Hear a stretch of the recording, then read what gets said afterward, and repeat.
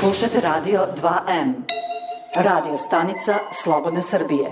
Dobar dan, slušate emisiju Dnev Srbije, ja sam Milan Milenković i... Majice si lep. Od tebe sam lepši i kad plačem. Nemoj da lažeš. da svakako neće doći do povećanja poreza, neće doći do smanjivanja plata. I da si ti muzičar. i 200.000 novih radnih mesta. Puštaj neku muziku, neko nam upada u program. Gde baš ovo nađe? Ko laže, taj krade. Bože, bože, kuda ide ova zemlja? Mi ne idemo nikud i ne radimo ništa Pa šta smo mi onda? Mi smo jedna velika hipnotisana gomila Ne, bravar je bio bolji. Ajde, počinji više emisiju, ti bi ovako mogao da ulaska u Evropsku uniju. A to će biti za... Da, naša vlast mora da ispuni gomilu uslova. Oni samo moraju da ispune one uslove koje im ja propišem. Lako je tebi, Vojvodo, ti imaš tri obroka dnevno. Nego ajde da poručimo nešto Evropskoj uniji, pa da počinjemo. Zašto me vređaš, draga, kad si idolno To je to, poštovani slušalci.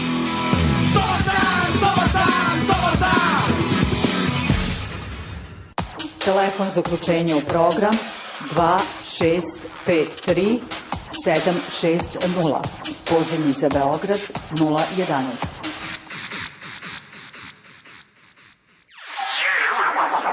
Skype adresa radio.2m4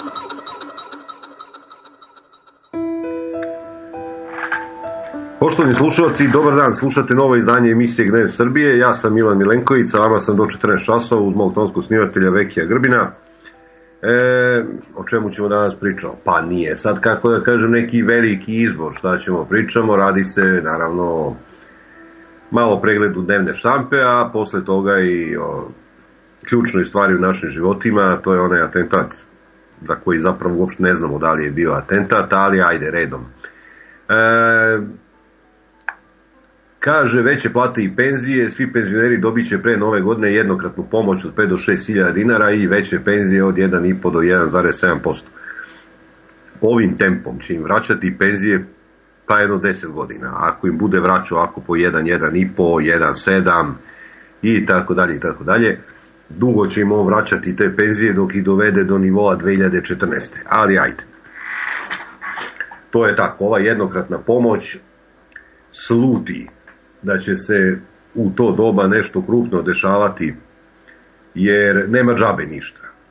Nego bi to trebalo da pokrije nešto. Sad šta ja ne znam, ali 17 evra Dinkić ih je pokrilo jedne izbore, računam da će ovih 40-50 evra za penzionere pokrije mnogo krupniju stvar. Tako da, naravno, to da su troškovi života već pojeli penzije i tako, to smo pričali i to nema veze, to se i zaboravlja. Govori se o apsolutnim ciframa. Vučić ne razmišlja o uvođenju vanrednog stanja. Mm, Evo o čemu se radi. E, kad smo već se i dotakli, kaže, politika ne razmišlja o uvođenju vanrednog stanja. Ja sam siguran da negde za slučaj da, da vladavina počne da trokira, za slučaj da to više ne drži vodu kao što je držalo ranije, da se izvede neka, da će se izvesti neka fake operacija i da će se uvesti vanredno stanje. To je ono što priželjkuju sve vlasti od 5. oktobra na ovamo. E, siguran sam da sve vlasti to priželjkuju od 5. oktobra na ovamo. E sad, kada će se i šta iskoristiti, nisam sklon da mislim.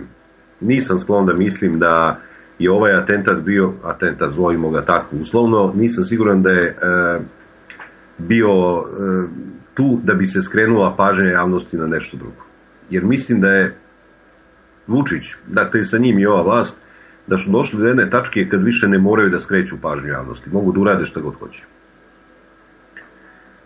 To je taj mit o tome da mora da se skrene pažnja javnosti, inače će se desiti šta? Frka neka, napravit ćemo frku, Bože sačuvaj. Kada bi jutro, danas, evo sad u podne da dođe Vučić i da kaže, e, moramo priznamo Kosovo, mi bi rekli, pa dobro, ajde ono, ako mora, teraj. Dakle, više nema potrebe da nas kreću pažnju i to nije u tu svrhu bilo, ne znam šta se i kome šalje poruka. To se već danima orga, špijuni i 300 čuda. E, danas ćemo razmotriti nekoliko mogućnosti šta se sve tu u stvari dešava, ne može se izračunati jer nemamo informacija. Ali da završim sa pregledom dnevne štampe pa ćemo se onda vratiti na ovu priču. Da li je Srbija, kaže, politika spremna za borbu protiv terorista? Ja koliko znam, naša vojska samo to vežba jedno 10 godina. Ništa više ne rade, samo vežbaju borbu protiv terorista. Lično sam prisustvovao vežbi na ušću kada su simulirali neku afričku reku, odakle izvlače jel tako, UN službenike koji su zarobljeni, to je bilo brat bratu 5-6 godina.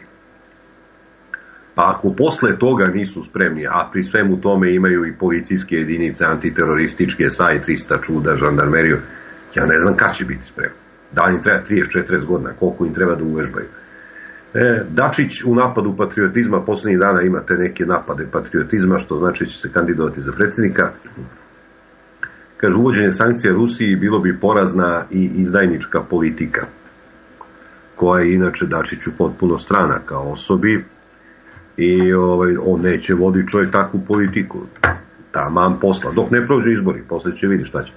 E, o, na ovo ćemo se vratiti docnije, da, penzionerima 6000 dinara, plate rastu do 7%, opšta jedna radost, jer stići će dotle kredit, pa će iz kredita se isplati, pa će posle se ispriča neka druga priča, ako nema love, bit će opet štednja i tako u krug.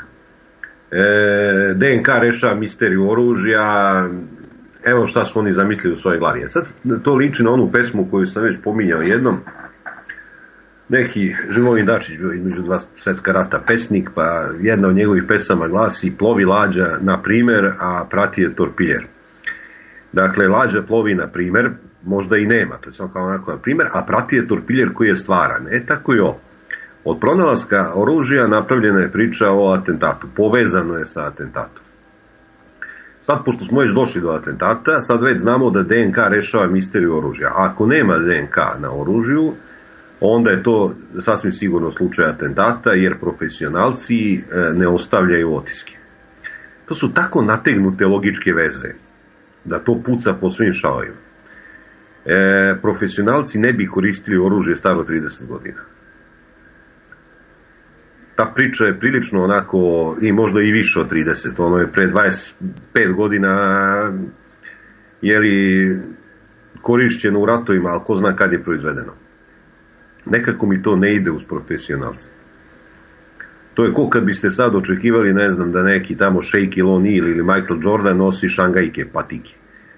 Nekako mi to nije logički povezano, ali do duše ovde može sve u ovim konstrukcijama, ove, ove konstrukcije koje se ovde prave zemlju ne dotiču. Dakle, od jedne mogućnosti, objektivno, da zanemarimo šta mislimo o tome, da li je to fake operacija ili šta je. Da zanemarimo to. Jedna od 20 mogućnosti je stvarno i atentat. Međutim, brzina e, kojom su se oni uvatili za 20. mogućnost je vrlo čudna profesionalci ostavljaju oružje u šumi koje nalazi tamo neki građanski radnik. Tako su ga dobro sakrili da je našo neki građanski radnik koji je valjda tu došao da se olakša. Cela priča je beskreno nategnuta. Beskreno nategnuta, dakle, jeste atentat jedna od mogućnosti, ali to je jedna od 20 mogućnosti. Odmah se drža to. Znači, to je 100% to pokazuje da nešto nije u redu. Mogli su kažu, pa možda je namenjeno, o, možda i nije, možda neka budalčina ostavila u šumi. Mislim, mnogo mogućnosti. Ovaj, službe razmatraju jačanje premijera ovog obezbeđenja, samo jako, što bi rekao je preletači, samo jačanje obezbeđenja. Premijer nastavlja svoj posao, naravno, ni časa ne časi, ne smeju konferencije za medije da trpe zbog ovoga Tomislav Nikolić kaže, svi koji su odgovorni za bezbednost premijera trebalo bi time da se pozabave mnogo više. Za mene uvek bio znak da nešto jeste ili nije u redu. Podnošenje ostavki. E, kad Dušan Mihajlović svoje vremeno nije, sećate se ministra policije iz doba Đinđićevog ubistva, kad nije podne ostavku na mesto ministra policije posle ubistva Zorana Đinđića, tu nema šta se priča. To je jasno kao teorema o čemu se radi. Znači i ovde dok Nebojša Stefanović ne podnese ostavku, ja neću verovati da je priča o atentatu stvarno. Jer ako je priča o statu, stvarno on će reći ja nisam sposoban da štitim premijera, ja moram da vam ostavku pošto ga mnogo volim, a nisam u stanju da ga štitim, treba da dođe neko koga takođe mnogo voli, ali je u stanju da ga štiti. I onda ću verovati da je priča prava. Bez ostavki ja ne verujem da je priča prava. Prosto eto tako, ne verujem da može, možda se ovo iskoristi za čišćenje negdje u bezbednostnim strukturama, ali da ne ošteti ministra. To otprilike tako treba bude. E, sanduci sa oružjem pronađeni 30 metara od mesta na kojem automobil vozi premijera i na tom mestu mora da uspori. Isto nategnuta konstrukcija. Isto nategnuta konstrukcija na 30 metara, ne ni na 5, ne ni na 200, nego na 30 i tako je onda se javlja Boža Prelević, kaže ko stoji iza svega. Neverovatno. Dakle, čovjek za sva vremena i za sve sisteme. Ovaj, cela priča, docnije ćemo još komentarisati naravno. E, alo piše bezbednost Vučića ozbiljno ugrožena, prepoznao sam rukopis Zolje, kaže Vučić. Grafolog je valjda prepoznao. Pa je rekao Vučiću, oružje stiglo sa bosanskog ratišta, taze ratište, taze oružje, ono baš. Ja ne znam, priznajem da nisam ekspert za te stvari, ali pretpostavljam da svako oružje ima neki rok upotrebe u kome je bezbedno. I ne verujem da bi profesionalci koristili ovaj oružje koje je nebezbedno po njih. Opet amateri ne bi ni pokušali atentat. Tako da cela priča, kažem, visi u vazduhu. Premijer poručio da DNK na oružju eh, otkrio pozadinu akcije. Premijer je otkrio jednu zanimljivu stvar za koju niko pre njega nikad nije čuo, a to je takozvani parcijalni DNK. Možda to ima neke veze sa eksplanatornim screeningom ili sa delivery unicom, ne, ne znam, ovaj, ali prvi put sam čuo za parcijalni DNK, to je ako neki novi izraz, bit će široko prihvaćen od penzionera glasača, to sam sasvim siguran, još nemam nikakvu dilemu. I tako dalje, i tako dalje. Ajmo redno, da vidimo šta ko kaže. U, bre, grdne poruke. Već stigoše Zamboni kaže, a, a, da, tako bi trebalo da radi Zamboni. Zoran kaže, po čemu će se razlikovati vanredno stanje? Može li ovo u čemu Srbije živi da se ne zove redovno stanje? Vanredno stanje će se odlikovati masovnim hapšenjima, kao za vreme sablje. Cilj vanrednog stanja nije da se pronađe atentator, da se pronađe krivac. Cilj vanrednog stanja je zastrašivanje političkih protivnika. To je smisao cele stvari. To nema veze sa, sa ti kad tražiš nekoga, znaš, ti tražiš kao Amerikanci, tražiš li Harvey Osvalda ili tražiš atentatora, ne tražiš sad. Međutim, u ovakvim režimima zapravo su ti protivnici vlasti, e, to jeste problem. Protivnici vlasti su ti svi redom. Opozicija, narod koji nije glasao za tebe, svi su ti protivnici. Jer kad jedan režim upadne tako u, u, u izvesne probleme u kakav je ovaj upao, onda se krug protivnika režima fantastično širi, svi su sumnjivi. Oni što vole su sumnjivi, ovaj, što ne vole dovoljno, oni što ne vole su sumnjivi što ne vole. Kaže Mićo, čekaj, Mićko da je, kaže, pozdrav Milanče, lago bi, ako bi rekao da me nije dobrano, Bog me dobrano, žacnu ono tvoje predskazanje koje naš Balša spomenuo u emisiji kod Velje Čupića, e, e, e, e, mogućnost formiranja opcije takozvanog desnog sektora u Srbiji. Onda da zlo ne čuje nije li u toku neki postupak e-ukrajinizacije ukrajinizacije Crne Gore i Srbije. Zna Zapad, čita Amerika, Engleska za najslabiju tačku pravoslavnog sveta, a to su naši unutrašnji odnosi jadnog naroda. Pa odmah udare na podelu naroda i to kakve podele naroda da jedni drugima oči ne mogu da vide. Unutrašnja napetost, diktatura, vladara, gušenje svih sloboda naroda. Kažem naroda, a ne građana za treba više se krije od javnosti da je u pozadini svih zbivanja onaj krajnji interes Zapada i vlade u senci pomoću svoje udarne pesnice zvane NATO za posedanje svih teritorija tih okupiranih država. Otimanje, crpljenje svih bogatstva kroz naručene i izvršene promene zakonodavstva uz prethodno servisiran skupštinski saziv koji donosi odluke o njihovu korist, provući to kroz neku formu zakona ulaska u Europsku uniju, nekontrolisano uzimanje enormnih stranih kredita od Svetske banke, MMF-a, jednom rečju propast naroda i nekadašnje države red slatkih obećanja daće penzusima velikih 1,5 do 1,7% povišicu penzija, radnicima 5%, izbori kao staklena mrena na oči, to bože demokratski proces. I šta na kraju reći, okupacija, okupacija i to svega. Boban kaže, pozdrav Milanče, pročitao sam jutro svoj tekst povodom najnovijeg događaja, lepo si stavio u okvir da nebojšnji logički sud treba da sledi sve, treba da slede sve institucije. Ja bih još samo dodao, ako je sve to istina, zašto pobogu nisu sačekali da dođe izvršilac po i da ga uhapse, a ne trčali po medijima i dizali frku. Na to mi je skrenuo pažnju još jedan prijatelj. Meni je to promaklo u prvi mah. A to je bilo najlogičnije. To je bilo najlogičnije. Posmatrati mesto i čekati da izvršilac dođe po oružje. Međutim, možda su oni znali da izvršilac neće ni doći po oružje. Mislim, ozbiljno su pitanja. Neša kaže, pozdrav priča s oružjima asociran ministarsko prase. Ko ne nađe prase, to jest atentatore nadrljao, hehe. Ma bre, može se desi. Mi se zezamo s tim, e, ko zna šta se hoće im. E, Milane, pozdrav, ja mislim da Amerikanci stoji iza ovog malo da ga opomenu. Kaže, Slavko, jesi čuo ludilo od Vulina, ako ubiju Vučića neće biti penzija. Nisam čuo to. Nije valjda to rekao, nemoj me zezaš. Ja sam mislio da, da za te penzije postoje neki fondovi, a da to nije Vučićeva slobodna odluka. Dobro, ko zna. A što se tiče ovoga, sto Amerikanci ne verujem. Ne verujem. Ne verujem. Dragana Trifković ima jedan zanimljiv ovako, bar za mene, e, e, e, zanimljivo ovaj, e, e, komentar, kasnije ću i o tome, da je ovo zapravo da se ovde izvodi masovna antiruska operacija, odnosno da se E, pravi sklop stvari u kome ćemo uvesti sankcije Rusima i odaljiti se od njih. Meni se to čini na prvi pogled, kad sam pogledao tekst i ovo, učinilo mi se dosta e, logičnim.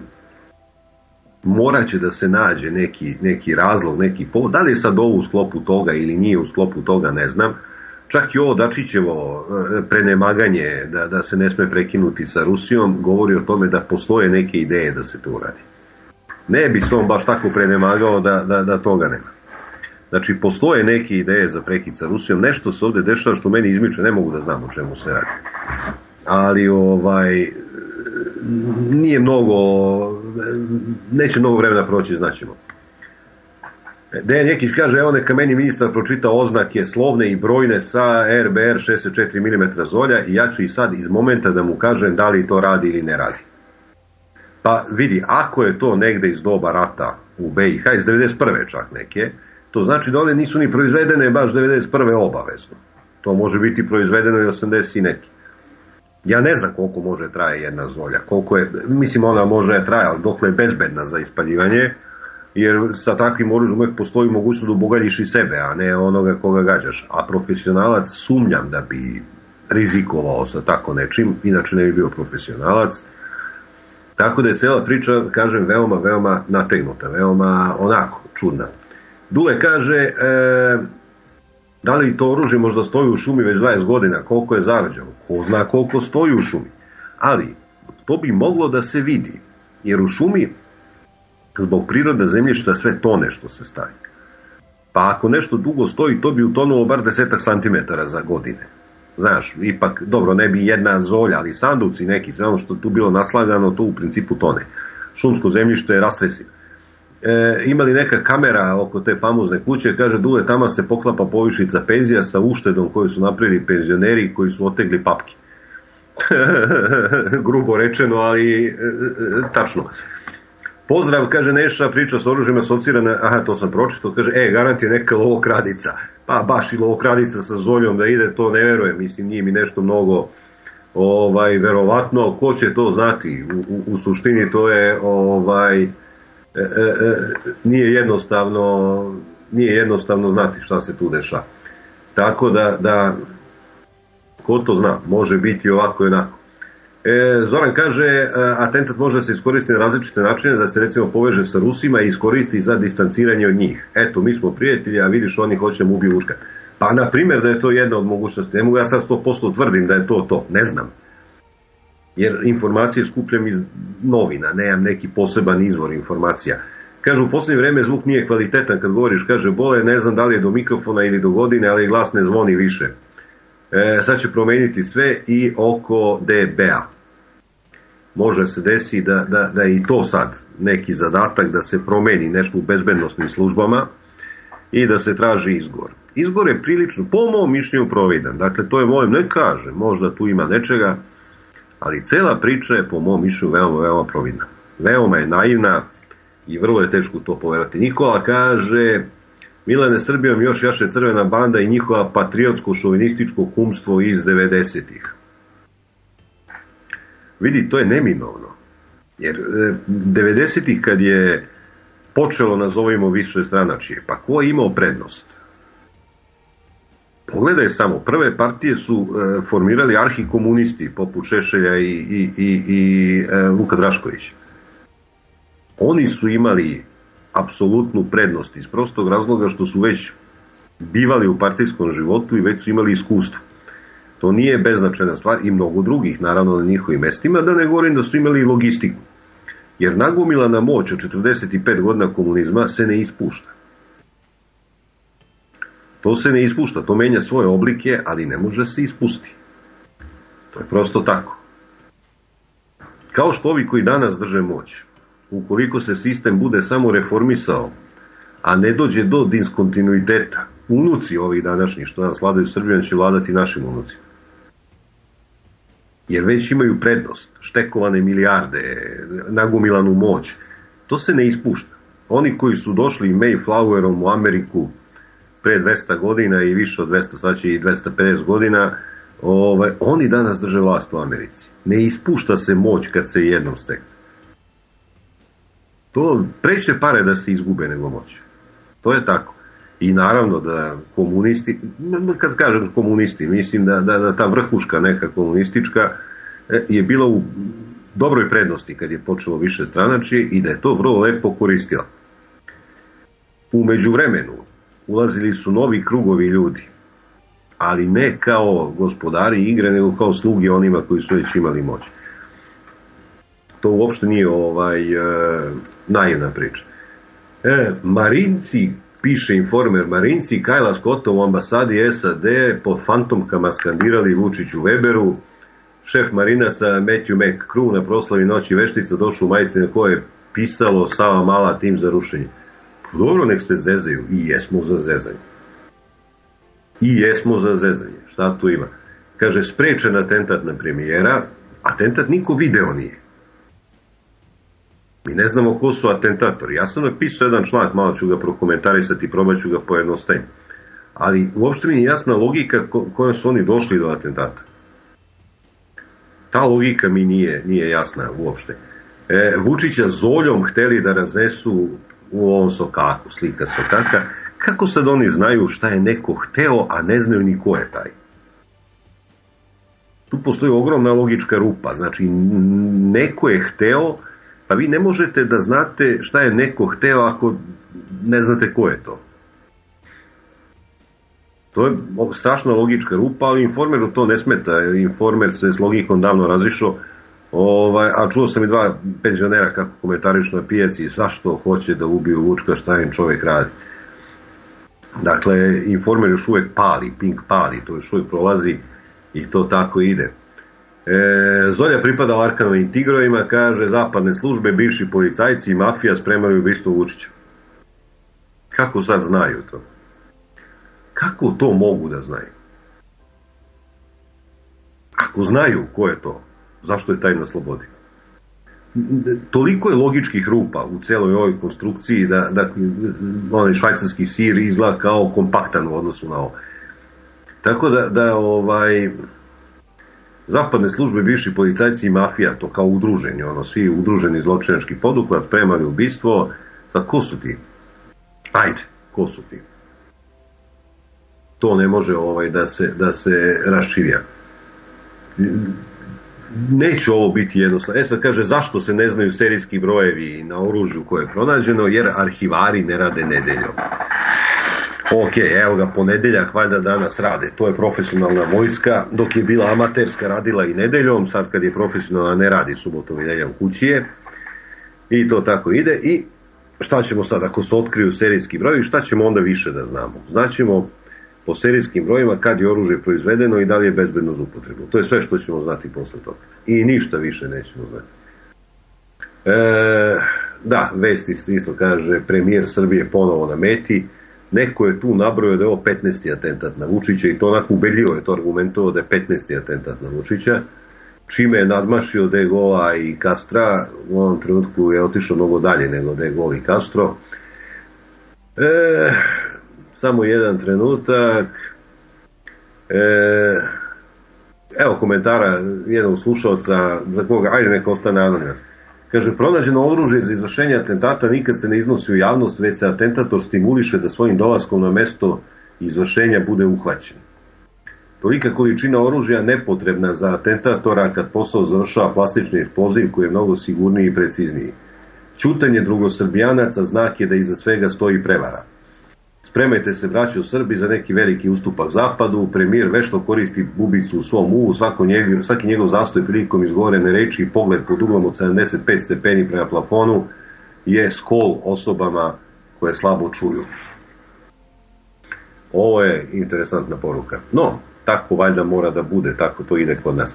Kaže Dejan RVR 64 mm ima električni upaljač i opaljivač koji i tu je stala poruka. Nisi završio poruku, deki.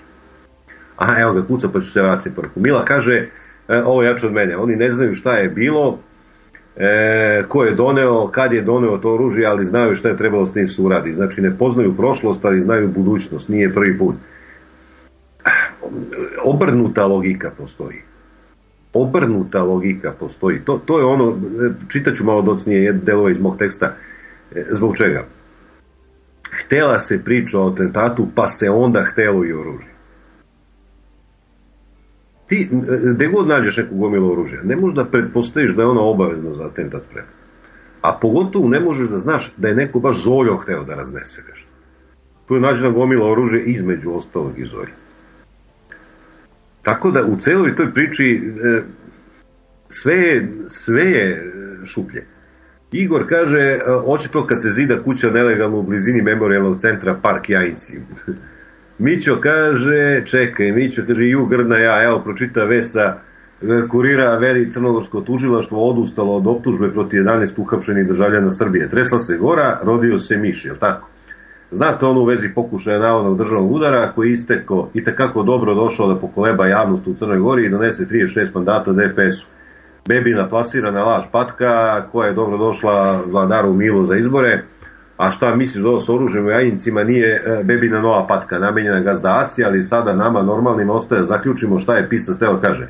Ja planiram da je ovo traje još dan dva, da će uslediti saopštenja nadležnih da su jedna baba Stanija i Đed Niko iz Jajinaca tu zakupali kuburu, da jednog dana kad im zafali da njome riju bašču, vele kad se posadi puška, automat, mitroljez, da bašča bolje rađa vidio si šta se desilo u Crnoj Gori, koliko je to, dve nedelje i doviđenja s Bogom.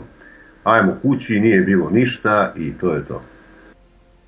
A digla se onolika fertutma i izgledalo je kao da će oni na metar od mila su ih uvatili. Andrija kaže, vratno su ljudi u crnom sa sve naučnama za sunce i slušalicama u uku sedeli maskirani u krošnji drveća i čekaju da dođu atentatori, ali i majstor sa propalom bešikom pomrsio konce. Pozdrav druže. Pozdrav Andrija, vidiš i sam šta i kako je. Vidiš i sam kako je. Mislim, našo građanski radnik, silni profesionalci rešili da izvrše atentat i građanski radnik otišao da žubori i pronašao oružje. Priča je na granici nemoguće. Kažem, uvijek postoji i ta mogućnost. Ajde da, da probam da budem objektivan do kraja. Ali to je jedna od 20 mogućnosti. Oni su se baš za nju uvatili. E, e sad, ajde da probam, ma ne vredi kako bi vas rado uključio, ali sad ne znam kako to da izvedem. Dejane, sine, ne, ne znam kako da izvedem ovo, tako bih rado pozvao sad da popričamo.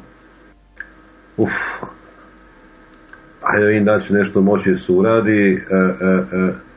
Nema, kaže, trenutni poziv će biti stavljen na čekanje, znači ne mogu da, da ne mogu da vas ubacim, a da ne ugrozim stream. Dobro.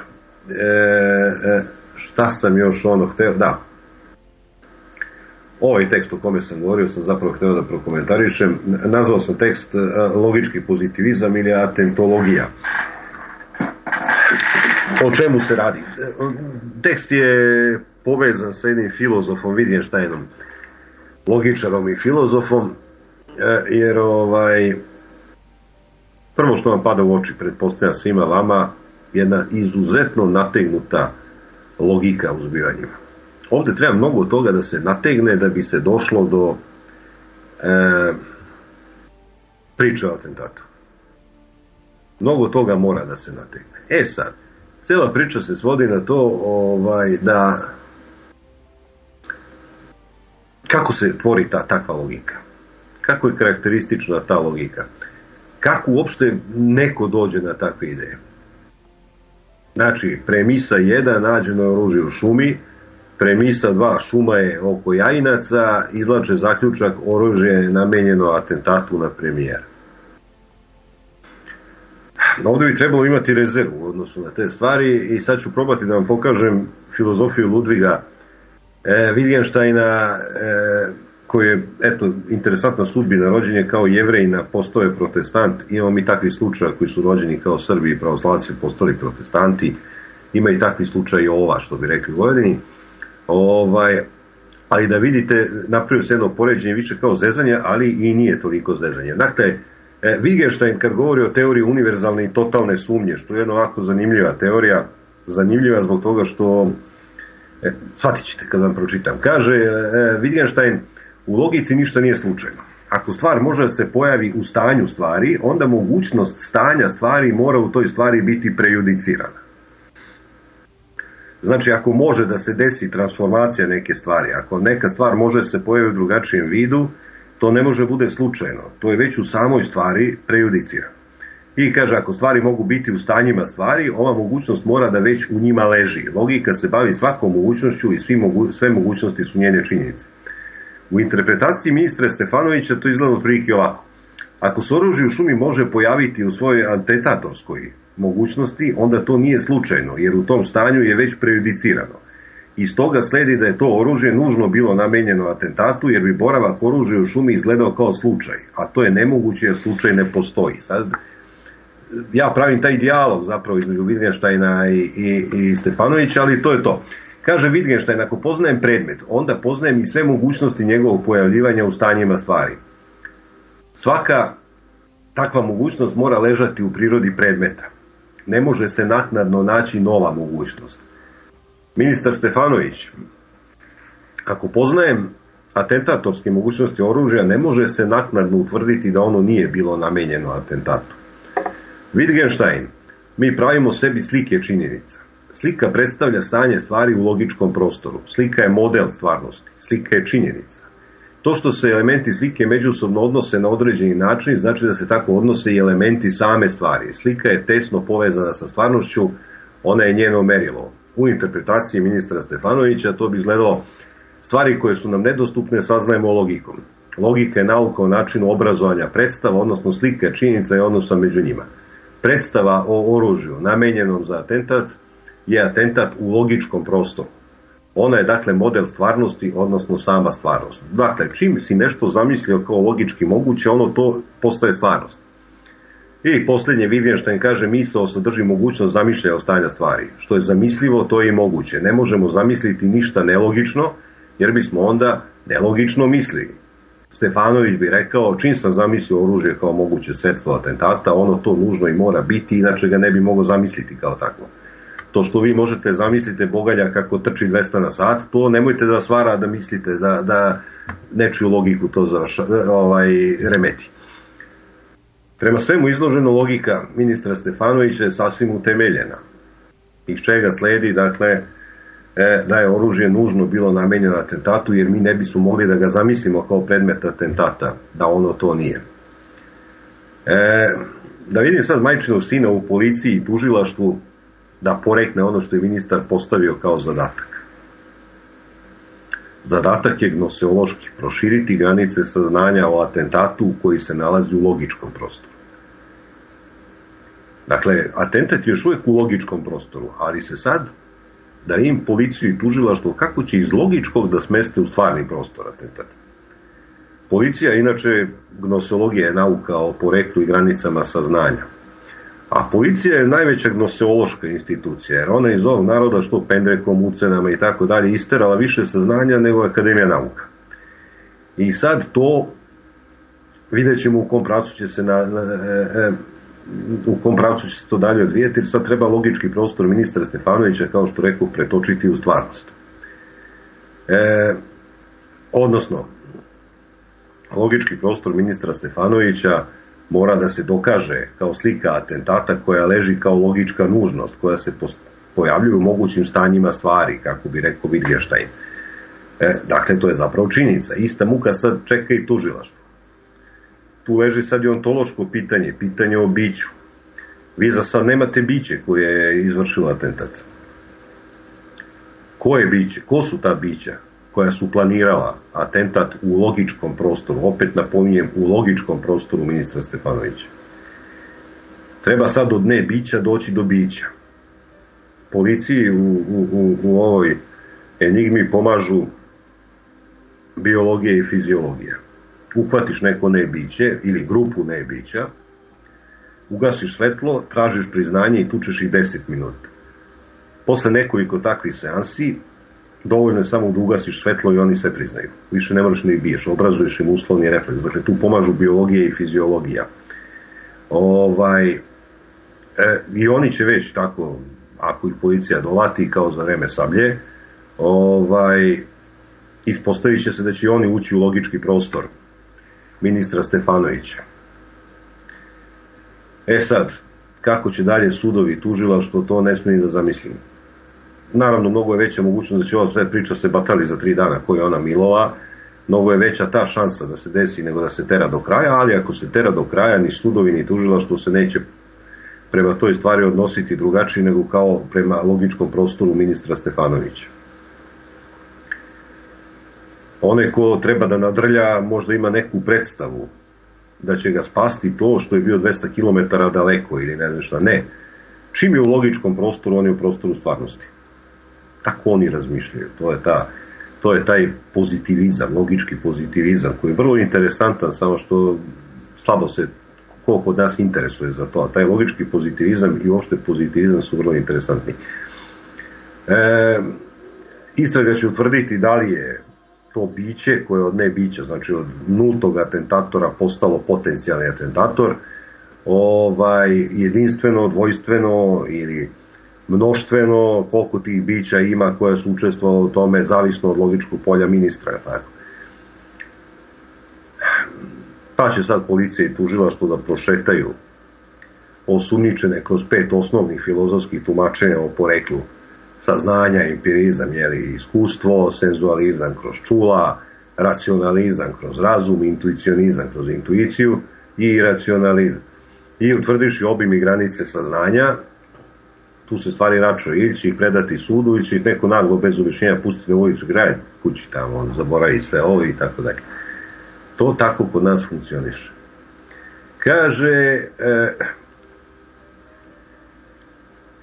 Bojan, mene samo čudi da nisu našli neki zakopani tank ili avion, pošto mi je premijer takva moralna gromada i tako jak igrač u međunarodnim odnosima da jedna zolja i poneka bomba e, nisu ništa za takvu ličnost. Recimo za Kennedy je bila dovoljno neka repetirka, ali kad je Vučić u pitanju teško da bi zolja i kakva bomba završila posao. Pravo ti kažem, ja sam se nadao kakvom bojnom brodu ili podmornici ili tako nečemu, ovo jeste malo razočaravajuće slaže se s tom. Vlada kaže, e, što bi veliki mislac iz Alana Forda Grunf rekao, tko leti, taj, tko lijeti, taj vrijedi.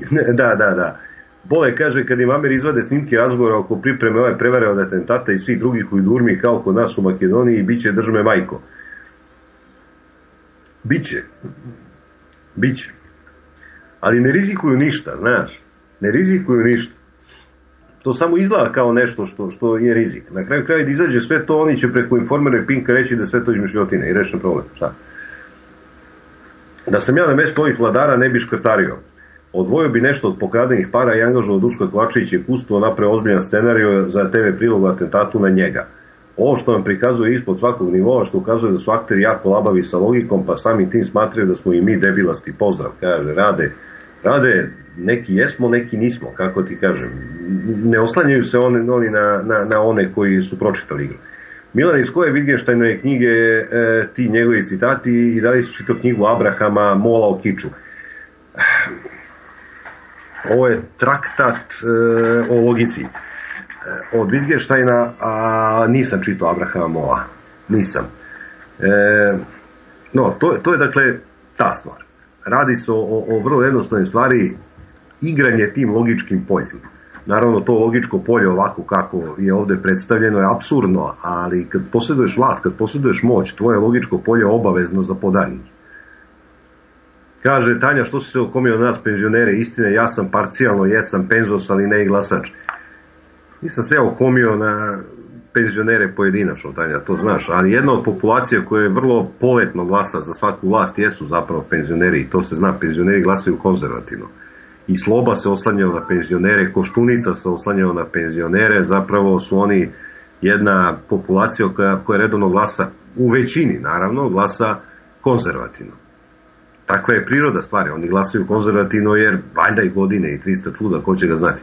Kaže Dejan Njekić, kaže e, RBR 64 mm ima e, električni upaljač i opaljivač e, koji e, ne radi od pripale crnog baruta, a inače je proizvođena od 86. do 90. Tako da koji nije remontovan bio bi opasniji za ono koji rukuje nego od onoga koji treba da bude pogođen. Pa ja ne znam, ti si stručnjak za te stvari, da je inače stručnjak za to.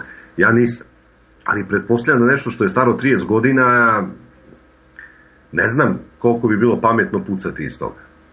Mislim, ja prvi ne bi, ne bi probao sreću uopšte da, da iz kršine neki ispaljaju.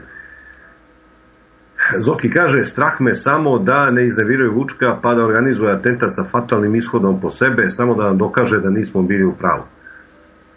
Mislim da se to neće dogoditi.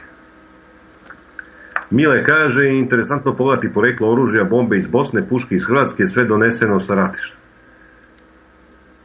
Bobi hoće nešto da kaže pa se priprema dobro. Dakle, cela ta priča je do krajnje mere nategnuta. Cela ta priča je negde na granici potpunog absurda. I deluje vrlo neubedljivo, deluje vrlo onako, čak i neozbiljno, rekao bi, deluje ovaj, šta se njome hoće, to je drugo pitanje. Ali svih tih 15 atentata ovaj, na, na, na Vučića, ovi onako negde, kažem, za, za kratko vreme premašilo mnoge veće državnike, opasnije ljude i tako dalje.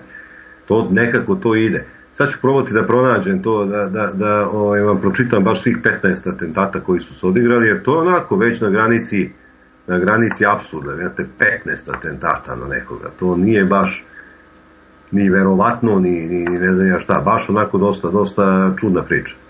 E, samo jedan trenutak, evo, mislim da sam na tragu da to nađem. E, e, e, e, e, da, da, da, da, da, samo jedan još sekund, izvinjam se. Evo ga. E, mislim da ću ga sad pronaći, jeste. 94. godine nepoznato lice pomoću Juga automobila. 99. drugi put NATO u zaveri sa Larry Kingom. Treće 2008. Nikola Gajić zbog osnivanja SNS-a. Četvrti atentat 2010. Luka Bojović i Šešelj. Peto 2012. Milorad Ulemek i Ljiljana M. Šesto 2012. Miroslav Mišković. Sedmo 2013. Darko Šarić. Osmo 2013. religijski fundamentalisti. Deveto Naser Keljmendi 2013. Deseto 2014. strukture u MUP-u. 11. 2014. vozač uprave za zajedničke poslove. 12. atentat 2015. specijalac iz Crne Gore. 13. atentat 2015. bošnjaci u Potočarima. 14. atentat Zubin Potok i 15. oružje u Jajincima. Dakle, što je mnogo, mnogo je. Dobro, duše, gromovi udaraju u vrhove. Kaže Bobi, atentat kaže Čeka Milanče, mali Neca Vaja Terp, Zolju našo čoveče, svemoćnog će Zoljom, dakle. Ma kako da neće, ja ne znam kad je neku tu vrstu atentata izvršio, ali ajde. Kaže, možda su oružje i doneli Vučićevi sa ratišta, kaže Duša. Pa, verovatno i poznao neke, zvao je mnogi da idu tamo. E, Vučko kao Fidel Castro, kaže Mira, ma kakav Fidel Castro ima malo, nije to ništa u odnosu na, na, na ovo. Zdravko kaže, možda su ubrzo pronađe neka haubica sa parcijalnim, šta god. Može se desi. Očigledno su onako ozbiljno se pripremili. Kaže Milane i ti si mi sunju ovi antitati slične kerefeke se organizuju samo da bi ti imao temu za emisiju, nego znaju da ne radiš vikendom, pa ti RTS, Informer i slični otmo ekskluzivu, novinarska mafija, kaže Zoki. Tako nekako burazam. Pozdrav Milane, ako smem da primetim, konstrukcija atentata im je do jajinaca, a oružje sačuje Bože i zakloni. Imamo tri šibice, mešamo, mešamo, mešamo, gde je kuglica? Dobro pitanje, gde je kuglica? To je uvek pitanje, jel da?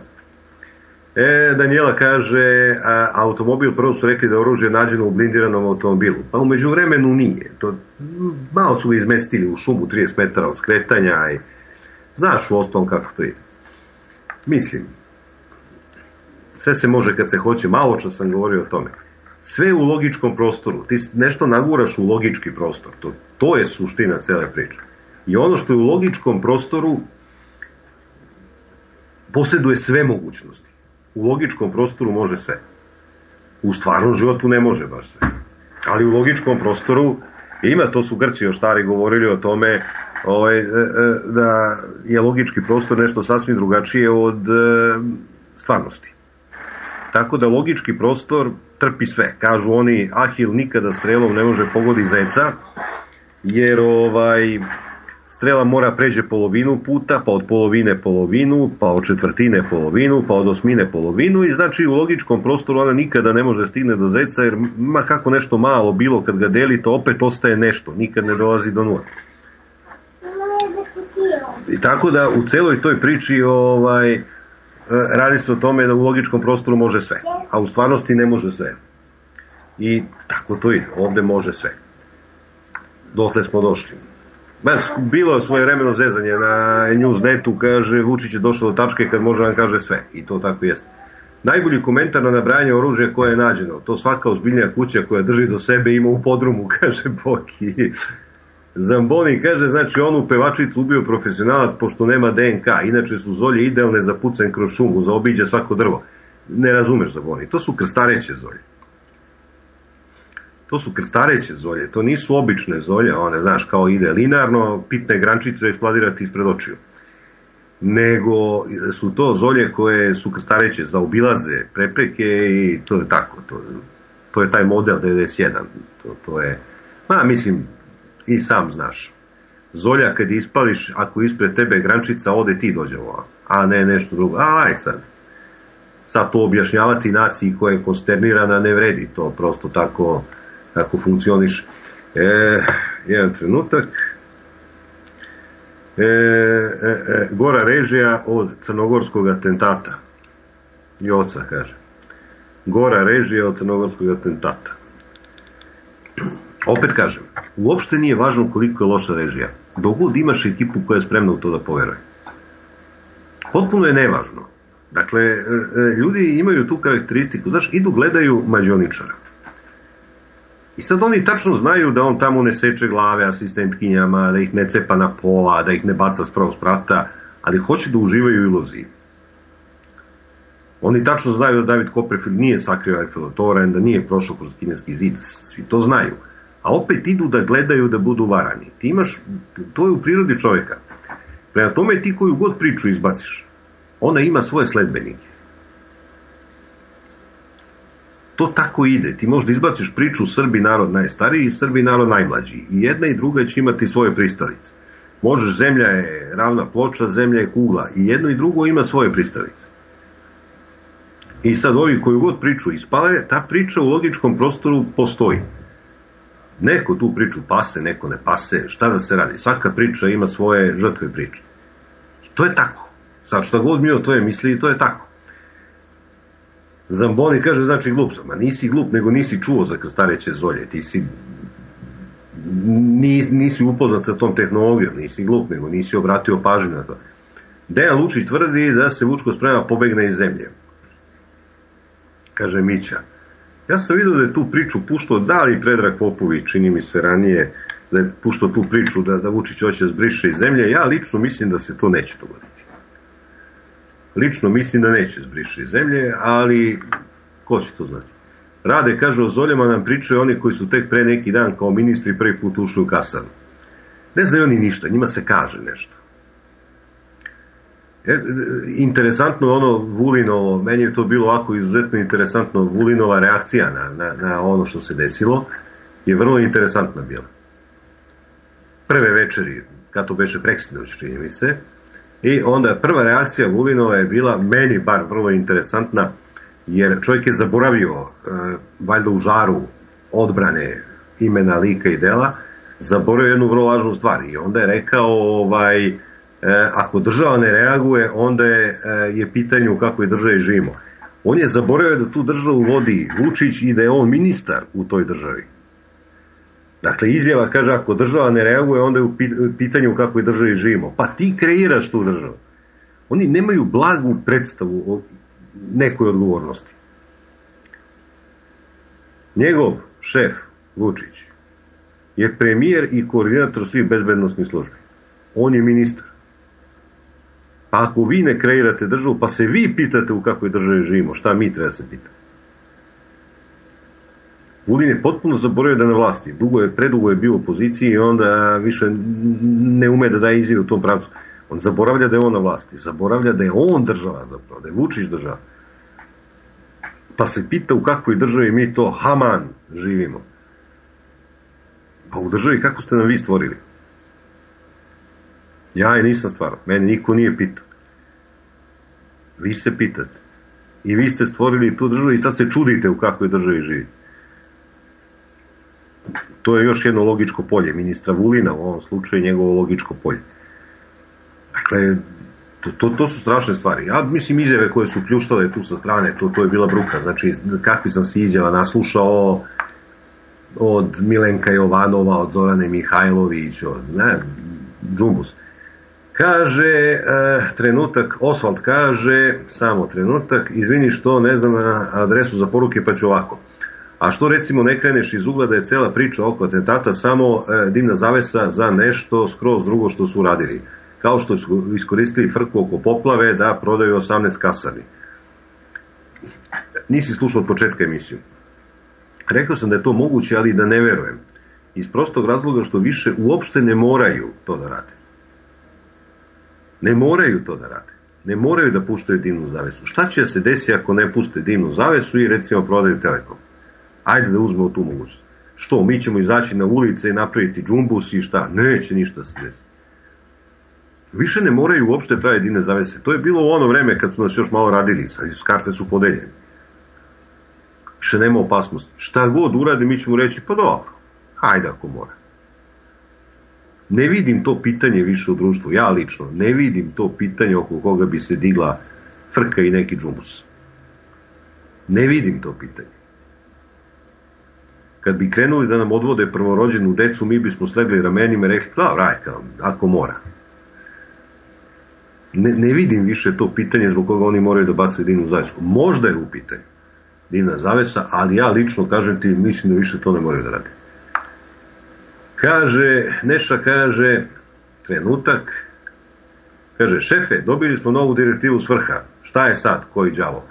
Kaže, znate onaj program inkluzije što su morali da ga uvedemo zbog zakona o zabrani diskriminacije? Kaže, znam, utero im zakon šta s tim? E pa ne možemo više da zadržavamo operativce sa poslovnim potrebama u kancelariji, moramo početi da ih šaljemo na teren. Agent X, ti sad mene zezaš. Molim te reci da mene zezaš. Ne zezam šefe, evo depeše.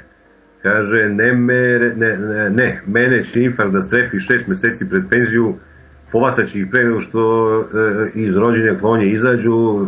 Šefe, ako biste mi dozvolili, imam jedan predlog. Ajde, molim te, gledaj da bude mnogo dobar. E, zašto ne bismo ubili dve muve jednim udarcem? Agente X, prestane da mi jedeš živce i pljuni šta imaš. Kaže, odmah šefe, ajde da ih pošaljemo na misiju na neku totalno neutralnu zemlju. I, i oni njih normalno povataju, ali toliko su nebitni da nam od njih ne trebaju apsolutno nikakve informacije. Ok, pratim te. E, I tako, M što smo se rešili agenata sa poslovnim potrebama, M što e, ni nemaju šta da odaju, čak i da hoće. Agent X, ti si genije, dođi mi da ti zavalim žvaku, ali ne smijem zbog zakona o seksualnom uznemiravanju na radnom mestu. Hvala šefe, staraću se, sad još samo da skontamo koja bi to mogla biti toliko nebitna zemlja da ih tamo šibnemo. I za to sam već uradio statistiku, predlažem ovu kojebinu ovde ispod Mađarske, već nam je nekoliko puta super poslužila za skretanje pažnje sa bitnijih sranja. Šalji ih odma i naspi nam onaj Jack Daniels sa gornje police. E, Nebojša kaže, pozdrav, kako to da se uvek neki spin namešta u subotu da bi se u nedelju masirao mozak narodu koji je velikom većinom kod kuće pored malih ekrana. To i meni palo u oči. Ne mogu da kažem da li je slučajno ili namerno, ali petak popodne, subota popodne, to su obično, e, e, to je obično vreme rađanja afera. U tom trenutku sve se rađa. i onda imaju 24 do 48 sati ispiranja mozga. To trče kajroni, to vanredne izdanja vesti, to i preko filmova idu tekstovi šta se deša, pronađeno, otkriveno. Zoki kaže i nas Milane vataju na logiku. Zamisli da zaista imamo nezavisno novinarstvo i na čelu informativnih kuća sede ljudi od integriteta i odluče da ove igrokaze i ne pomenu. To bi bila prava reakcija na ponašanje ovih klovnova. Danas je, evo novina Zoki danas, e, je tek danas objavila prvi tekst o tome. Oni su se očigledno odupirali dva dana da, da, da uđu u tu priču, a su danas ušli. To bi bila nastavlja Zoki prava reakcija na ponašanje ovih klonova. Ovo nam svake nedelje bacaju kosku, a mi svaki put potrčimo za njom.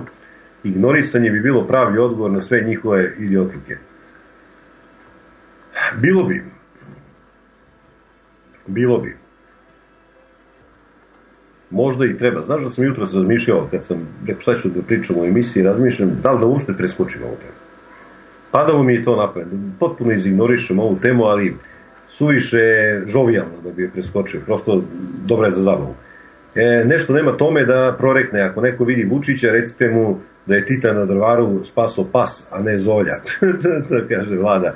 Nikola, kaže, neko sa zapada pokušava da destabilizuje Srbiju, po ove priče iz Miloševićeg vremena u kojem je premijer bio ministar informisanja. E, kaže, kakva je njihova odgovornost, jedno što može da im se desi da ih ovaj narod opet izglasa. Napred, naši dole izdajnici.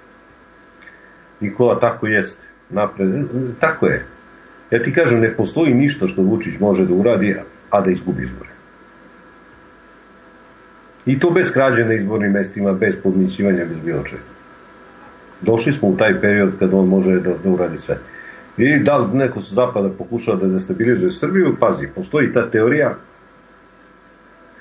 koja je naspinovana preko nekih patriotskih, nazovi patriotskih portala i medija, da se ovde sprema džumbus, da Zapad hoće da destabilizuje Srbiju, napravi novi rat na Balkanu i tako dalje i tako dalje. Ja sam bio vrlo skeptičan prema toj teoriji od početka, jer Amerika to ne radi u predizbornim godinama. Nije karakteristično za Ameriku da u predizbornoj godini radi takve stvari. Prema tome priča je domaćeg porekla i za domaću upotrebu, tako ja mislim, odnosno da se narod stalno drži pod pretnjom s polja nuklearnog rata unutra građanskog rata. I time je narod osuđen na pokornost, u strahu od mogućih posledica, on kaže čuti more, samo da nije gore. I mislim da ovo nema veze sa stranim zapadnim obaveštenim službama, naprotiv, mislim da je patkica, žuta patkica je zapravo onaj vidljivi deo onoga što treba se radi plus Čeda, Boris Čanak i tako dalje i tako dalje. I, i mislim da je to onaj faktor destabilizacije plus NVO sektor. Ne znam zašto bi pored svega onoga što već imaju kao mehanizam za destabilizaciju sad izmišljali nove i nove stvari. Ne deluje mi verovatno formiranje nekog desnog ili levog sektora nije nemoguće ovde meni se pre čini da je moguće formirati levi sektor od žute patkice Čede Jovanovića, Čanka i tako dalje, jer oni su levi sektor zapravo e, to bi moglo pre da se formira nego desni sektor. Jer ovamo na desnoj strani mm, ne sede ljudi sa, sa, sa tim pre svega iskustvom u organizovanju raznih otpora, zezanja. Ti već ovdje imaš jednu gotovu ekipu koja je uvežbana, koja je spremna. Zašto bi sad gubio vreme na neku drugu ekipu koja dok nauči godine će proći. Tako da, da mislim da se sprema levi sektor zapravo više nego desni, ali ko to može znati ovde šta će sve se desiti. Stojan kaže, obično se predsjednik vlade ubija e, punim kombijem oružja od bombi preko zolja do automatskih pušaka i mitraljeza. To se nikad ne radi samo jednim metkom i optičkim nišanom. Delo je neubedljivo. Šta ti možda kažeš? U šumi je nađen snajper. Ali kad kažeš u šumi je pronađen nosač aviona i tako, onda to deluje mnogo ubedljivije mislim na onoga na koga deluje, na onoga na koga ne deluje, ne deluje. Meni bi recimo priča o pronađenom snajperu delovala mnogo ubedljivija nego priča o, o svemu ovome.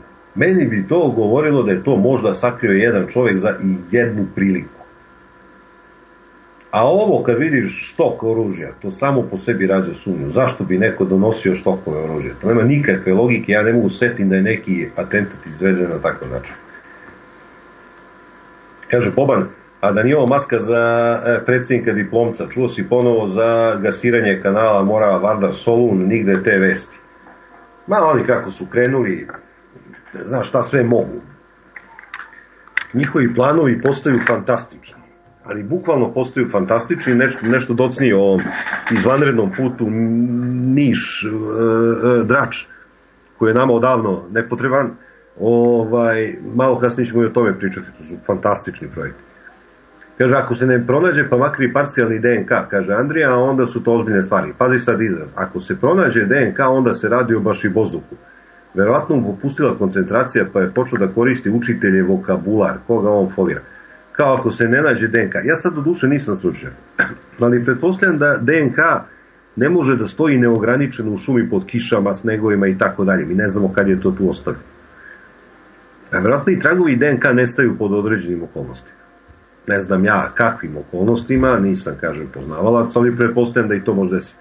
Miško kaže, možda atentat nije dimna bomba, ali je magla iz koje se ne primećuje da je za vikend gorivo otišlo 2%, a inflacije nema, kaže premijer. Nema inflacije zato što sve skače u evrima. Zato nema inflacije. Sve poskupljuju u evrima. Mićo kaže, e, znaš šta Milanče, ja mislim da je već krajnje vreme da ovi pametni iz famoznog 7., 8., 9. odeljenja bije ranije DBA odu u penziju. Toliko su već providni s ovim lažiranim aferama da im vrapci više ne veruju ništa. More veruju. To se ti grdno varaš ako misliš da niko ne veruje ovo. To što ti nisi poverovao, nemoj da brkaš sa tim ko je sve mogu da poveruje i da li je poverovao. To uopšte ne treba da, da, da shvataš tako naivno. Prosto, ovaj, mnogi ljudi su poverovali. Izgleda potpuno uvrnuto, ali ljudi poveruju, znaš. Svaka priča ima svoju mušteriju i to nemoj da te ni malo iznenadi, to tako mora bude. Priča, fantastične priče su ovde ispričane, zapravo to su radikalske priče. Ja kad sam čuo ovaj atentat, odmah sam se setio e, priče kako ćemo mi gađati ovaj, e, E, Šešeljeve priče, gađat ćemo Zagreb, gađat ćemo Avijano, Teslino oružje. E, tačno mi je jasan ovaj e, metod. Dakle, odakle potiče ta priča. Ko je naučio na te grandiozne priče, na te krupne, krupne stvari? E, Zamboni kaže, zašto te čudi količina oružja? Učestvuju Boško Buha, Sirogojno, Mirko, Slavko. Ko da se spremi jedan bataljon da napadne Jajince? To, Kaže, ha, ha, ha, nasmejemo ovo sa atentatom na Tita. Nezgodno je da, Vučić, da Vučića spase Vučjak, a da nas o tome obavesti Vučićević u razgovoru sa Vukom Draškovićem, bivšim tuživicem za ratne zločine Vukčevićem i onim Vučerićem. A ko su tu ovce? Nemoj da te iznenadi jednog dana i tako priča. Da je skočio Vulin i zaštitio Vučića, popio metak umesto njega. Sve je moguće. Znači, mi smo ušli u područje naučne fantastike, ovo više nema veze sa, ne samo povodom ovog atentata, generalno je sve naučna fantastika. Sve je science fiction. Rast privrede, Disneyland koji se sprema, sve je to science fiction. To je Potemkinova država, to više nisu Potemkinova sela, nego čita država je Potemkinova, svaka stvar je Potemkinova. Tako da, da ovo kraja nema. Ivan kaže nije cilj da ubede tebe, već one koji po ceo dan gledaju RTS i Pinka, njih je veliki broj. Znam kako to deluje na moju majku i oca koji gledaju navedene televizije. Upravo se o tome radi. Jedan deo populacije ne visi na računaru. Prednost, recimo ovakvog medija, je što, zahvaljujući tome što ide preko računara, imaš pismeniju publiku. Nije verovatno da će baš one babe i dede koji gledaju Pink da navale baš na kompjuter. Neće. Ovde je pismenija publika, ali tamo je masovnija publika koja čita informer i koja gleda Pink i te stvari. Tamo je publika masovnija i ta publika zapravo odnosi prevagu. Šešelj je izvanredno shvatio svoje vremeno da je demokratija samo broj i ništa više. Kvalitet broja nije važan. Te, niko ne broji na biračkom mestu da za tebe glasaju normalni, glupi, visoki, plavi, crni, niko ne gleda to. Samo se gleda broj. Šešelj je to prvi shvatio i shvatio je prvi gde je broj. Gde se nalazi broj. Broj se nalazi među onima koje niko ni za što ne ferma, nego i samo jednom u četiri godine pita za koga da glasaju. I oni tad, jedan jedini put kad ih neko nešto pita uopšte u četiri godine, jer ih niko ništa ne pita, ni rođena majka ih ne pita ništa, onda oni žure da glasaju. To je tako. I to je nasleđe. To na prvi pogled onako nije vidljivo, čini se kao da Vučića i Šešelja razdvajaju mnoge stvari, međutim ja vidim mnogo više stvari koji spajaju nego koji ih razdvajaju. Jer Šešelja priča, ja sam najveći, ja sam najbolji, ja sam najjači, ja sam najhlabiji, ja sam o, je danas pretočeno Vučiću priču, ja sam istorijski i ono, uradio sve za Srbiju. Tako da je to ista priča, grandiozna priča, prebačena sa jednog na drugog. Ja najveći, ja najbolji, ja najlepši, ja. Isto potpuno matrica koja postoji tu. Miloš kaže, e, čekaj, ima neka slika, je tako, koju si im poslao nešto, Vučić, za dve, najviše tri godine, čekaj, da bi se otvorilo to negde, nije. Moram opet da probam nešto, a? Da im da će nešto da se desi. A, hoće. Evo, za dve, najviše tri godine obećavam bolji pokušaj atentata. Mnogo je, učestali su. Učestali, sad tu dva, tri godišnje, sad to više nije ono jednom u tri, četiri godine. Kaže, nisam nešto uman čovjek, ali sam u jedno siguran. Današnja opozicija je na istoj umnoj liniji sa vlašću, kaže Nenad. Pa da vidiš da si uman, jer to nije lako primetiti. Možda bi čak dao blagu prednost vlasti. Blagu prednost zbog iskustva. Dakle, a slažem se s tom da ili, ajde, ovo što ti kažeš, što je rekao Čečil na drugi način, kaže nesolidnosti vlasti, nesolidnoj vlasti uvek, ovaj, nesolidna vlast uvijek ima i nesolidnu opoziciju. To je, to je suština cele stvari, dakle to što si ti rekao, to je primetio i Čečila, za njega ne može da kaže da nije bio uman. Prema tome i ti si došao do istog zaključka kao i, i, i Čečil. Mićo kaže, baš je Milanče razočarao, ne bi ja menjao tog famoznog bija odeljenja za unutrašnjeg neprijatelja, mislim ti što potkupljuju neke pametne, daju im funkcije ili pak ucenjuju, ti što formiraju stranke ili neke patriotske opcije u Srbiji već decenijama. Ja bi menjao narod. Oj narode, moj, moj stari dobri Zoki Radmilović.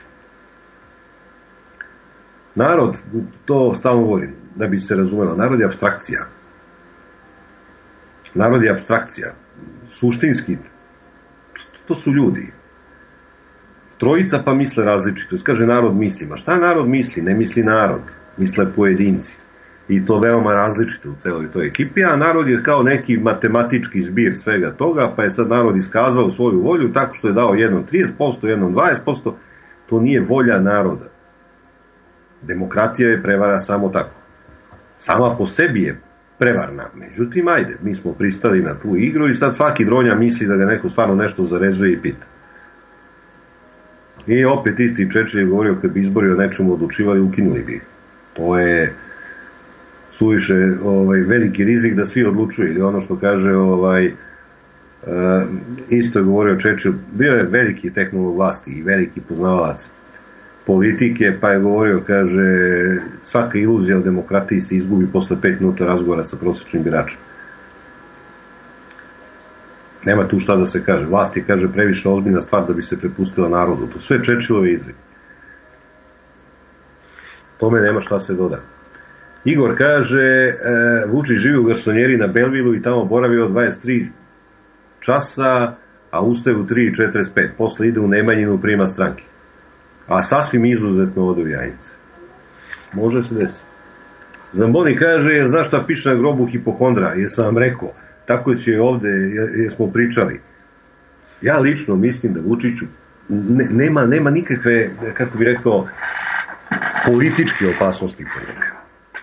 Ne kažem da ne postoji opasnost po njega, ali opasnost može da dođe iz e, igre novcem, a ne iz igre politike.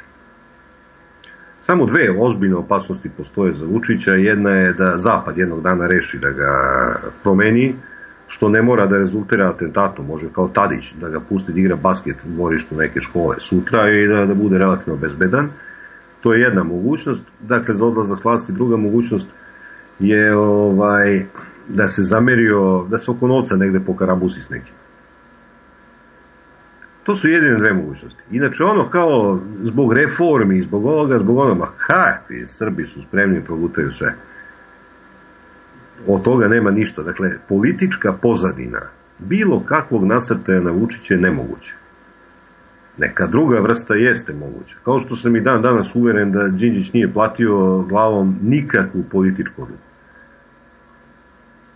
Ništa što se tiče politike mu nije uzelo glavu. Biznis kombinacije su mu uzele glavu. Tako da, da ja uopšte ne vidim za Vučića nikakvu političku opasnost. A, apsolutno nikakvu. Ima najpokorniji narod na svetu. Možda, ma nema, to je to, ne znam, pokorniji narod. Oružje je stiglo iz BiH, kaže Marko, neko bi rekao da je oružje stiglo iz Republike Srpske, možda Dodik i zli Srbi preko Drine stoje iza svega, a ko njih podržava? Pa Rusi, naravno, znači Putin, e pa uvodimo sankcije. Može se desi. Mada od jutros naslovi kao zapadne službe. Bog te pita u šta ovo može se izrodi. Bog te pita u šta ovo može se izrodi. Meni je logičnije da će probati sa Rusima da, da, da prekinu vezu nego sa Zapadom, ali ajde ostaje da vidimo.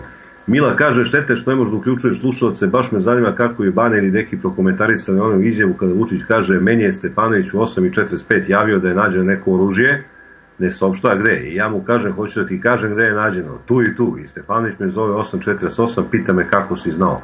Pozorište Šopalović. Putujuće pozorište Šopalović. To je tako. Jesam ti rekao gde je? Nema, sve znam. Pro, prozorljiv, što bi rekao nekad je da se tako govorilo, prozorljiv, ono, gleda u budućnost, sve vidi. I to. Tako da mislim da ovde nema političke nikakve priče, u Srbiji su sve političke priče završene onog trenutka kad se odustalo od vlasti 2000. godine, 5. oktobra. Kad se odustalo od vladanja Srbijom, sve priče su zatvorene o politici i više ne postoje politički sukobi.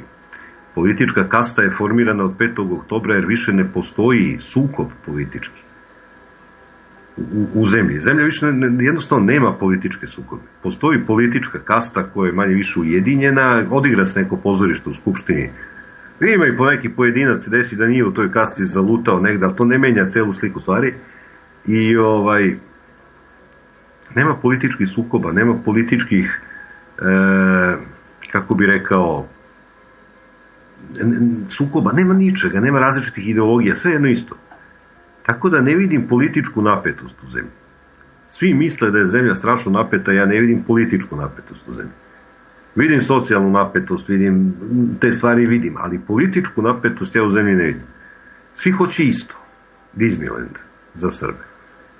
Kako Disneyland? Pa tako što ćemo mi poštenije od njih, majke mi mila, ovaj kaže, ne, ja ću ipak poštenije da mi umre keva i tako se. Jedno isto svi hoće, samo poštenije. Dakle, nema nikakve napetosti političke. Vi gledate zemlje u kojima bukvalno su napetosti na dnevnoj bazi. Ovde, mrtvo more. Kao da se ne dešava ništa. Ivan kaže, pozdrav iz Smedereva, zanimljiva emisija, u principu analiziramo bajke izrežirane iz SNS montaže, što im i jeste bio cilj. Koliko će trajati naše smejanje i konstatacija o naivi ili stvarni strah ovog dela Srbije, čiji život jeste bajka, medijska bajka.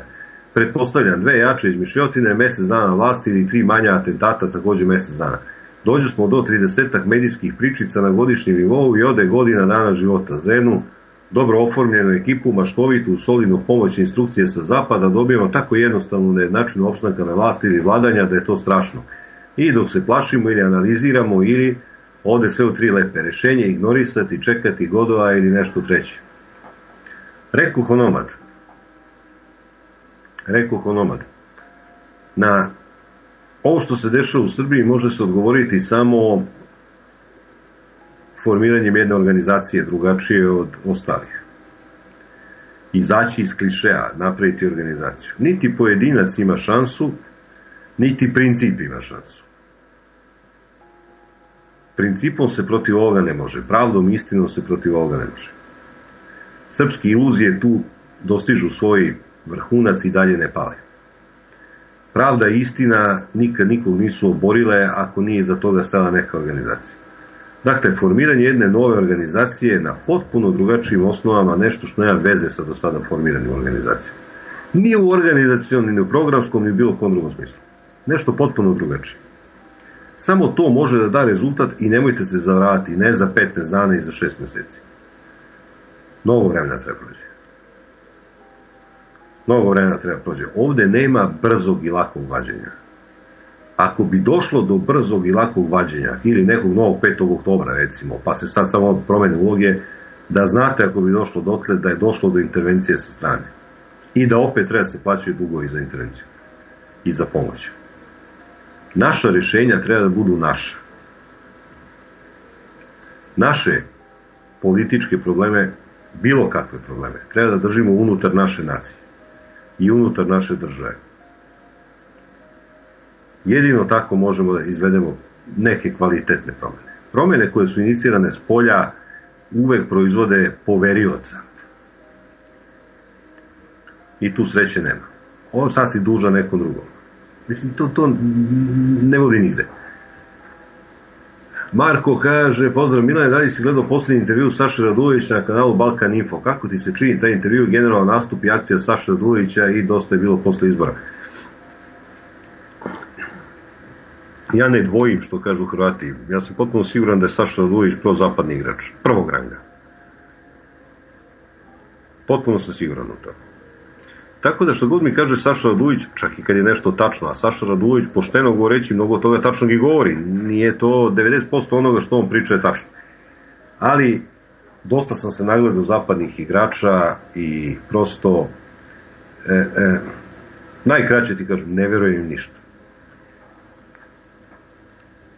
Zamboni kaže, šta tvoja ružica kaže o atentatu, za malo da poveruje.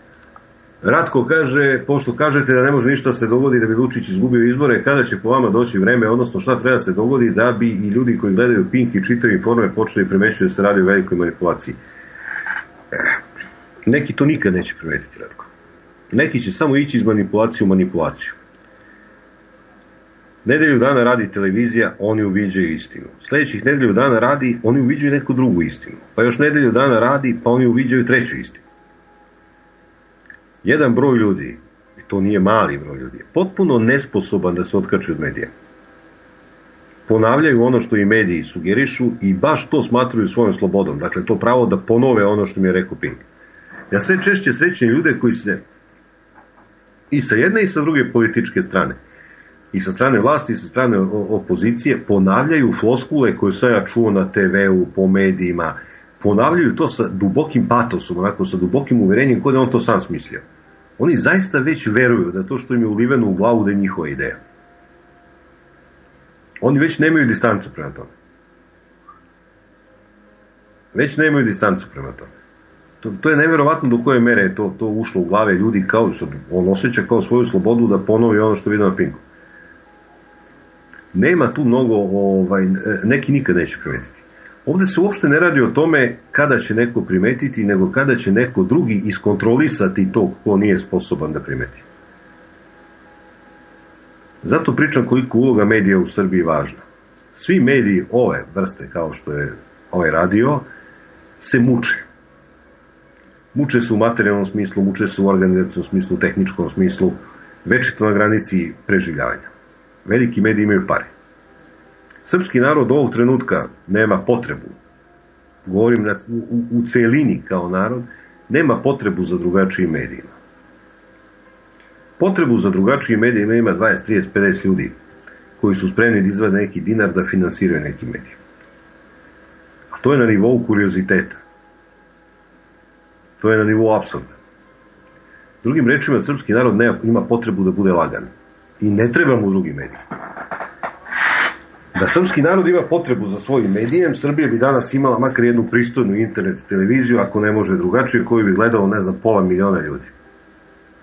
Srbija očigledno nema potrebu za tim. Naši iseljenici nemaju potrebu za tim. Zadovoljava, sve redom zadovoljava e, 80% loše narodne muzike i 20% nekog političkog programa, od čega je četiri petine za vlast. Takav je raspored karata. Možemo sad o tome mislimo šta hoćemo. Da tako treba i tako ne treba, ali tako stvari stoje. Tako stvari stoje. Jedan pristojan medij, ozbiljnog ranga, na internetu bi koštao mesečno, možda možda bi koštao 10, pa možda i 15.000 evra. Što je od prilike, ne verujem da Pink može preživi dan sa tim. Sumnjam, ne, ne, ne verujem da može do podne preživi s tim. Ali srpski narod, ne znam, 10 miliona Srba ovde i tamo, nema interes za tako nešto. Kad nema interes, to je to. Ti medije nemaš. Znači, e, e ti Ljudi hoće gledaju Pink, hoće gledaju Sulejmana, hoće gledaju Farmu. I to je to. Ti ih suočavaš sa, ja na dnevnoj bazi čujem kako sam ja mračnjak. Jer oni, bože moj, živimo u Disneylandu pa je truba da ja mračim. Znači, ljudi ne žele da se, ne, žele pogledaju stvari kakve jesu, žele da žive u nekom virtualnom svetu. I to je to. Dokle će to trajati? Nemam pojma. Ja sam sklon da verujem da ti koji žele žive u virtualnom svetu, samo je pitanje u čijem će virtualnom svetu da žive, a ne da li će. Da li će neko drugi moći da im kreira virtualni svet, jer sad ti da im pustiš neku drugačiju seriju, da im pustiš neki drugačiji show, oni bi prešli na to. Sad bi im to bilo interesantno. I to ti je to. Živiš u društvu u kome na, na, na sajmu knjiga informe drži štand i tamo bije gara odande. Skače se, džipa se, loši narodnjaci, ok. Nema tu sad, ti možeš, e, e, šta treba se desi? Treba se desi da postoji neki ozbiljan medij, taj medij nema ko da izdržava nego srpski narod, srpski narod baš briga da izdržava neki medij, dobri su mu njoj koje ima i to je kaj cele te priče. Dobra organizacija se napravi, da, to može se napravi, ali i dobre organizacije su potrebne medijima. I opet se vraćamo u paka 22, nemaš medije, nemaš ništa. To, to ti je tako. Mile kaže, do sad je Vučko pričao, a sad se konačno suočava sa realnošću, po mom mišljenju došao je kraj babe i devojke sedenja na dve stolice, sad mora se izjasniti. Slušamo mi tu priču jedno dve, tri godine. Kako do, do sutra ujutru mora se izjasniti. I dve, tri godine ja to slušam tu priču. Prvo, da je na, na njega ikad vršen pritisak se izjasni, on bi se izjasnio. To ne treba imati nikakvu iluziju. Da su ga pritisli, izjasnio bi se. Mogli su ga pritisnuti na sto načina. Njihovi načini pritiska čak ne moraju da budu uopšte vidljivi za nas. Taj pritisak ne mora da bude spektakularan. Može bude nevidljiv potpuno. I on bi prihvatio svaki pritisak. Na svaki pritisak je reagovao tako što je dao malo po malo Kosova, siromašio naciju i tako dalje. Što se ne bi raspod Rusa, nego nije traženo. Jer i Zapad zna da, da nekako, ako hoće da drži na vlasti u Srbiji, mora i njemu da da neki adut, da ima čime se zakiti pa da kaže, ali mi vodimo balansiranu politiku. Koja zapravo uopšte nije balansirana, ali mu se dozvoljava da takvu iluziju stvara. Kaže, Marko, gledam dnevnik RTS-a, oni testiraju moju inteligenciju, ja testiram svoje živce. E, to ti je stalna borba. U pravu si. Testiraju tvoju inteligenciju, ti živce i vršiš autoagresiju, umesto ugasiš televizor, ti vršiš agresiju na sebe da prihvatiš neprihvatljivo i to tako ide. E, opet ja kažem, Mićo, što ti internet. Malo gleda onog e, jadnika Milomira Marića, jutrovski, a gost niko drugi do Darko Trifunović. Ja budale Milanče ne mere taj Darko, a da ne opali po srpskoj protiv Dodika čisti plaćenik kojem je otvoren pristup svim antinarodnim medijima, ali ono što me ne bi iznadlo je da je Vučićev kandidat za predsjednika ne bude Toma, već neko drugi do Vojvoda Vojo. Zašto Vojvoda, pitaš se, ja onako razmišljam o mogućim predsjedničkim kandidatima i tužna slika. Malo, tamo malo vamo, svuda se napada nemoćni Toma, svuda se nudi Vojo kao spasila crpstva. Čini mi se da je Voja sad Vučić je favorit za predsjednika, ali ko će znati ludilo brate. Brate, evo ovako stvari stoje sa predsjednikom, ne može bude milion njih. Može bude kandidati će sigurno biti u krugu, možda ne svi zajedno, zavisi kako se dogovore. Ili će biti Toma Nikolić, ja lično isto mislim da neće Vučić da se upeca na to, mislim da će kandidati biti ili Toma Nikolić, ili Šešelj, Vuk Jeremić, Ivica Dačić. Mislim da je to krug onih ljudi gde treba tražiti ozbiljne igrače. Vučić možda neće forsirati Tomu Nikolića, meni, meni i dalje delo je najverovatnije da hoće. Meni delo je verovatnije da hoće nego da neće, ali možda će iz nekih drugih razloga koje mi ovde ne znamo pasirati Tomu Nikolića, preskočiti ga, pustiti nekog svog levaka da trči, nekog outsidera da trči, a onda u drugom krugu pozvati SNS da podrži Šešelja. Recimo da bi to jedna mogućnost bila, nije to velika mogućnost, ali jeste jedna od mogućnosti. Druga mogućnost je da Ivicu Dačića ne treba pocenjivati u prvom krugu. Kad Ivica Dačić učestvuje na predsjedničkim izborima, niko ne može dobiti u prvom krugu. On odluče tamo toliko glasova da niko ne može dobiti 51%. Dakle, ide se sigurno u drugi krug. Čim trči Ivica Dačić, ide se u drugi krug. I Vuk Jeremić može bude vrlo ozbiljan kandidat, ali mora da ovde ima političku snagu koja će ga podržati. I medijsku mašinu koja može ga podrži. U ovom trenutku to nije ni beznačajno, cela druga Srbija bi ga jedno dočekala. Cela druga Srbija, a s obzirom da je interesovanje za predsjednički izbor je obično manje nego za, za, za parlamentarne, a, a, jedan kvalitetan angažman druge Srbije bi i tekako mogao da mu donese lep rezultat. Nije za potrebu. Mislim da je to krug ljudi gde će se kretati. Biće tu i drugi kandidata, ali oni neće biti važni. To otprilike to. Vlada kaže, e, Radojević je Vučić na steroidima, naravno zapadnim, kao i Vučić, samo efektnim. Pričak, ja znam lično Sašu Radojevića. Na mene ostio vrlo dobar utisak kao čovjek. A neke stvari nikada ne brkam sa, sa, sa tim ko za koga radim. Sretao sam ja mnoge pristojne ljude sa tamne strane i mnoge vrlo nepristojne ljude koji su deklarisani patrioti. I obrnuto, naravno. Pristojne ljude na ovoj strani i nepristojne tamo. Saša Radujić je prijatan čovjek koji gleda sagovornika, koji lepo se rukuje, nije ono koliko dodatiš mrtvu ribu za rep i tako. Dakle, ne fali mu ništa. Fali mu samo to što bi nastavio istu ovu politiku neoliberalnu i što se klanja tim bogovima zapada i to je to. A to što je on fin čovjek, to nema veze s tim. Ja bi više volao da me neki prevarant kao Miloš Obrenović spasava nego kao neki uglađeni ovaj, Radulović. Jer za ovog uglađenog Radulovića znam da bi me potopio, a za onog prevaranta Miloša, boga mi, izvuko bi me iz E, to je tako. To tako ide. Mala pauza, sa vama sam ponovo za desetak minuta. Telefon za uključenje u program 2653 760. Pozivni za Beograd 011.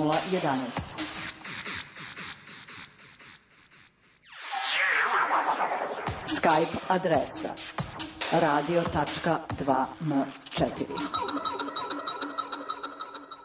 U Dnev Srbije, piše Filip e, Vučić u svemu kopira Đinđića, pa u tome da bude glavni don mafija, u toj mafiji za leđa sprema sablju. Tako da se slaže s tobom Milane da eventualno opasnost po Vučića preti samo jedino od onih e, mafioza s kojima se sada kune da će zauvek sa njima e, deliti dobro i zlo. A da će ih istovremeno sve pohapsiti, jer tako, to tako ide. Kaže, e, Mile, e, po mojoj proceni, Radović je Liga vidi se po mutiranoj priči. Vidi, jedna od stvari na koje su nas prevarili peto oktobarci je uglađenost. E, u odnosu na one slobine socijalističke rukovodioce, ovi su izgledali pred očima pristojno. Govorili su modernijim rečnikom, e, nekako su delovali pristojnije. Toga treba se klonimo treba da gledamo stvari drugačije, ne kroz to kako neko izgleda lep je, Tadić, ko lutka, koštunica, dostojanstven i tako dalje, nego treba da gledamo šta ko radi, a ne kako ko izgleda. I u tom smislu Radulović je super tip ovako u privatnom kontaktu, ali njegov zadatak je ono što on radi, to je vrlo, vrlo opasno. E, u Blicu piše da su pronađeni DNK tragovi tri osobe, piše Dejan. Vidi, verovatno su naši, ajde i da verujemo, dalje, treba postoji baza DNK, ti nađeš osob 3 DNK, kod nas ne postoje neke ozbiljne baze, sad ti naćeš po tome nekoga. Treće, i ako nađeš te ljude, sad treba da dokažeš da su oni hteli da izvrše atentat. To je ono logičko polje o kome sam govorio na početku emisije, logičko polje razmišljanja ministra Stefanovića, Vučića i ostalih. Jer čak i da je neko zaštekao tu oružje, čak i da si ga našao, ti to moraš da povežeš sa atentatom. Jer nije svaka gomila oružja po definiciji priprema atentata. To su tako nategnute konstrukcije da, da, da e, Ratko kaže, kao što kažete, ne može pojedinac promeniti ovakav sistem. Na koji način mislite da je organizacija može pobediti ovaj sistem, pošto su upravo mediji ogroman novac kao što i sami kažete, na njihove strani. Koji uopšte način razbiti to, da li uopšte ima načina suprotstaviti se tome? Ima načina suprotstaviti se tome. Ja ti kažem, 10-15 hiljada evra mesečno i imaš medij, kakav takav medij koji možda se nosiš u medijskom prostoru. Nemoj da zaboraviš, dobro kako da zaboraviš, ti si mlad čovjek, 25 godina imaš. E, šta je B92 značio u jednom trenutku za, drugo, za petoklovarce. A bio je mali medij. Prema tome, vredi se boriti, ali dok se ne skupi 10-15, možda, kažem na pamet, pričam i 20.000 evra mesečno, što je beznačajna cifra, objektivno beznačajna cifra za jedan medij. To je 200-250.000 u vrh glave evra godišnje. Ja verujem da, da, da RTS toliko troši na nedeljnoj bazi, možda i manje, za tri dana. Ne znam, sad bi morao da računam, ne znam na pamet. Prema tome, ako Srbi ne žele da, da imaju jedan medij koji može, onda ne žele, onda žele da tonu i tu nema pomoći. Pritom, ne mislim da ja treba budem taj medij, odnosno da, da ovaj medij treba bude taj medij, da ne mislite da, da o tome govorim. Jedan medij koji može da se nosi, i to verovatno na širem prostoru srpskom, da može da se nosi s pričom, da može prikupi pola miliona ljudi u priču. I to bi moglo da se izvede. Mićo kaže, e, za predsjedničke izbore koji slede ja bi isturio Boška Obradovića, a znaš zašto? Svet traži odavno nešto novo, a Boško je novo. Još ako bi imao bar malo pristupa medijima da otvoreno iznese realna pitanja, probleme za koje Vučić nikako nema pravi odgovor, osim da napada Sagorika. Mislim da bi Boško u odnosu jedan na jedan isprašio Vučića na nekom mediju. Zar Vučić u 4-5 godina ne beže od javne rasprave sa Boškom, sa bilo kim drugim koji ne bi bio namešten kao njegov protivnik. Bole, Boško bi imao moj glas na izborima za predsjednika Srbije, volao bi da Boško bude glas svih poštenih, osiromašenih, čestitih, normalnih ljudi u ovoj Srbiji, jer on nema masla političkog pokvarenjaka kao svi oni koji nas lažu dve i po decenije. Boško je, bi bio na predsjedničkim izborima apsolutni outsider. Svakako da Vučić na duel izaći neće, pa neće. Pogotovo što neće biti predsjednički kandidat. Prema tome, ta mogućnost kao mogućnost to što otpada. Da Boško iznese neki svoj program, neku priču, ja mislim da je ta priča na posljednjim izborima pokazala da ne prolazi. Da je priča arhaična, nezanimljiva i tako dalje i tako dalje. Nemam prigovor na ličnost Boško Obradovića, neko ne razume pogrešno. Neuporedivo je bi bio simpatičniji od drugih predsjedničkih kandidata. Nego se radi o tome da je ta priča preživela već danas. Ta priča nema šansu i Boško nema šansu. Boško nema šansu. Moja je procena da gornja granica bi bila 5%, da peva ako bi dobio 5%, ali ne verujem. Pre bi bilo tu negde između 1 i 2%. I nemoj da misliš da to što je neko nov i recimo nepotrošen, nešto znači. Srbijom 25 godina vladaju potrošeni ljudi i Srbi uvek glasaju za potrošene ljude, ništa im ne smeta. Nemoj da misliš da to što e, je neko, nekom prikrpljeno da je lopov, i da je razbijač srpskog naroda, da to na izborima nešto znači. Narod redovno glasa baš za takve. Jer narod negde intuitivno osjeća da bi se i sam na takvom mestu slično njima ponašao. Bar ono biračko telo koje odlučuje o pobednicima izbora. Jer ti kad pogledaš sve one tipične glasače vlasti, tipične, dakle nisu svi takvi, ali postoji jedan tip koji to radi, siguran sam da bi on prdio negde da na mestu ministra. Oni njima ne zameraju što su lopovi, što su potrošeni, što su ovakvi. To, to je naša iluzija. To je naša ozbiljna iluzija. Da to što si nekog označio kao nepošteno, potrošeno, 25 godina politici mu je minus. Naprotiv. Pogledaj na lokalu. Na lokalu se vidi mnogo upečetljivije. Tu se smatra da treba da vlada maher A maher znači neko ko je 20-30 godina u politici još od Saveza komunista, tu nešto rčka po lokalu i tu se smatra pravim čovjekom. Znaš, on je tu, on zna. Pojavi se neko novo, on i kaže, sta, taj se juče pojavio, taj na pojma. Ne, da mislim da, da, da u tom smislu Boško bio potpuni outsider. Jovan kaže, pozdrav Milane, već je neko od braće rekao što sam imao reći, osvrnut ću se na e, očigledno veliki broj poruka koje ti stižu. Jedva smo te dočekali posle ovog burnog vikenda, ti si nam jedna vrsta ispovednika i ogledalo zdravog razuma da ne povodimo, kaže Jovan. Hvala tebi lepo, druže moj, ne biste vi poludeli ni bez mene, jer i dok ja nisam počeo pričam, vi niste poludeli. Vi to imate u sebi. I stalno, mi pričajući privatno sa, sa prijateljima, od kojih neki čak i nisu slušalci radija, E, e, kad pričamo o svemu ovome, kažem kako se ovde skupila jedna ekipa ljudi koja je izdržala sve udare. Neko ovako, neko onako, nismo ni mi svi jednaki između sebe, ali 25 godina ste izdržali sav pritisak i niste se pokolebali. Ili ako ste se pokolebali, izdržali ste ipak. Međutim, svi smo to negde platili, hteli ne hteli. Platili smo e, time što smo na neki način, kako bi rekli Hrvati, izopćenici. Van mainstreama smo. Nismo ljudi koji su se uklopili u okolinu. Usamljenici. To je tako. To je cena za slobodnog čovjeka. I juče sedim sa jednom prijateljicom, ona kaže, kako danas ima čerku tineđerku, dobra jedna žena, ima čerku tineđerku i sad, kaže, kako vaspitavati decu?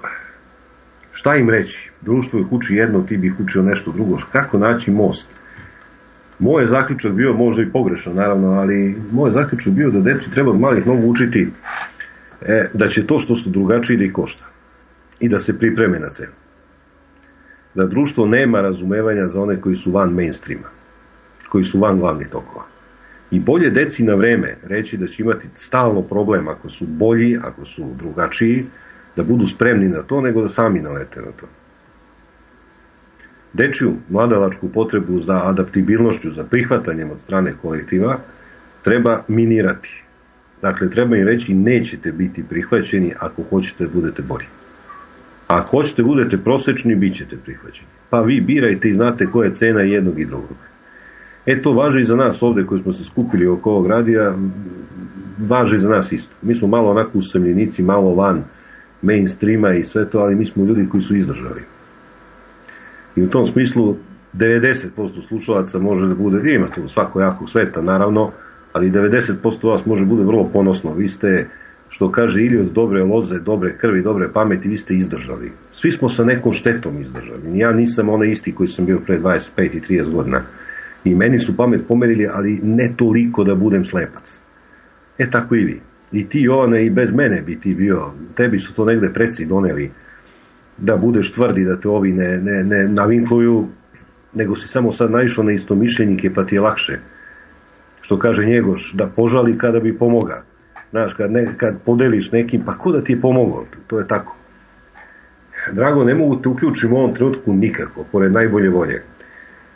Miodrag, moj umni prijatelj, kaže sve poteze ove vlasti, sve poteze ove vlasti prati e, s njene strane projektovana dimna zavesa. Stefanović, na primjer, oštro odgovara američkom ambasadoru Skotu, koji ga do duše ništa nije ni pitao, samo je pomenuo patkicu.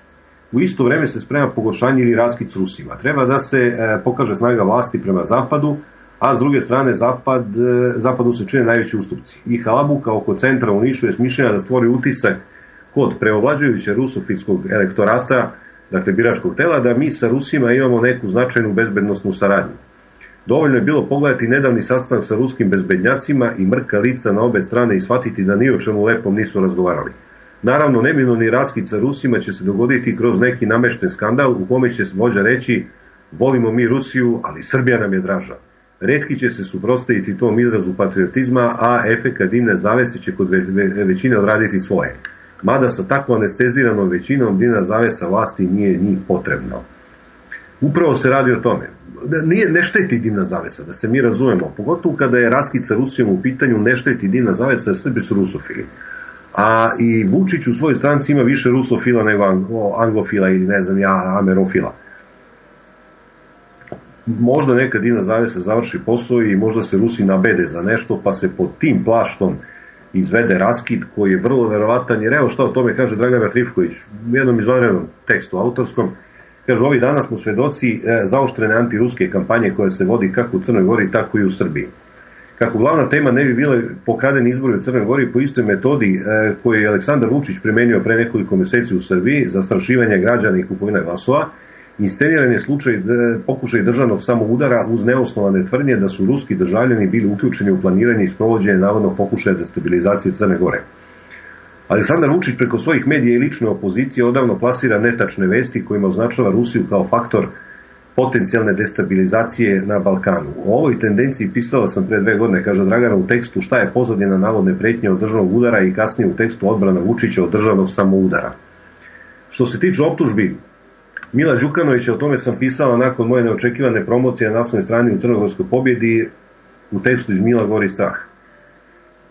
Kako piše današnji ruski komeserant, skandal bez presedana u odnosima Moskve i Beograda, sekretar Ruskog savjeta za nacionalnu bezbednost Nikolaj Petrušev, koji se nalazi u poseti Beogradu, rešavao je ovo pitanje sa visokim zvaničnicima Srbije. Važno je napomenuti da je poseta gospodina Patruševa bila planirana ranije i da nije vezana za nastali skandal, već je verovatno da je skandal upriličen pred dolazak ruskog zvaničnika. Prethodno, najavljena poseta Dmitrija Medvedeva Srbije otkazana s obzirom da srpska vlast nije potvrdila ranije utvrđene dogovore, posebno u vezi sa Rusko-Srpskim humanitarnim centrom u Nišu. Iako se srpsko rukovodstvo izjasnilo da će dodeliti diplomatski imunitet zaposlenima u Srpsko-Ruskom humanitarnom centru u Nišu, koji su spasili mnoge živote građana Srbije u poplavama 2014. godine, ono je ovakvu odluku pod pritiskom Zapada promenilo. To im nije smetalo da dodele diplomatski imunitet NATO vojnicima koji su izvršili agresiju na Srbiju i srpske položaje u Bosni i Hercegovini. Srpski mediji su dan pre dolazak sekretara Ruskog saveta za nacionalnu bezbednost objavili vest.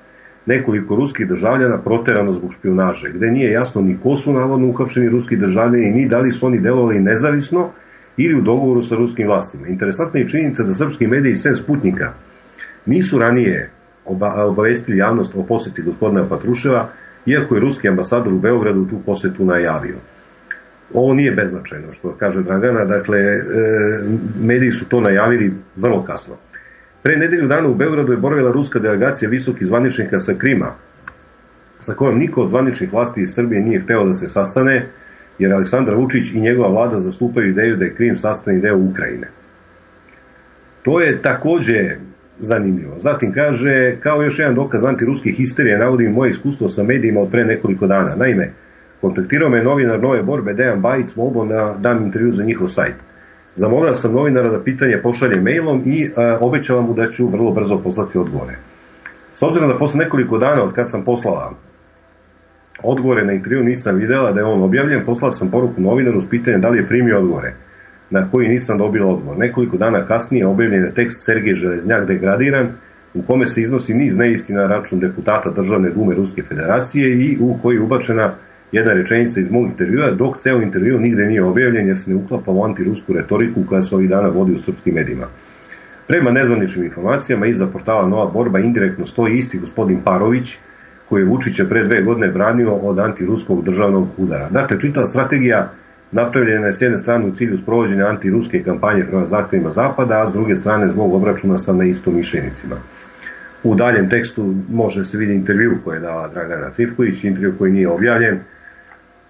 Ja se potpuno e, slažem sa njom u kom smislu? Slutim, ja nemam dokaze nikakve. Možda Dragana zna više od mene, a možda i ona samo špekuliše, da se ispod cele ove fertutme koje se ovde deša traži način da se prekine sa Rusima. A da to javnosti bude ne samo prihvatljivo, jer javnost će to prihvati pa da prihvati, nego da ne donese ni pad rejtinga. Pa ako može čak da donese i porast rejtinga. Bojim se da se to sprema. Istovremeno će se potkačivati ambasador Scott, povremeno koji se opet zove Scott, više se ne zove Scott na naslovnim stranama, obratite i na to pažnju. Ovaj, e, mislim da, da, da, da se sprema i da će tu biti malo raspaljivanja i po zapadu i po Rusiji, da će se i tu balansirati, da će se zapad označavati kao krivac za jedne stvari, Rusija za druge, ali će raskid biti samo sa Rusijom.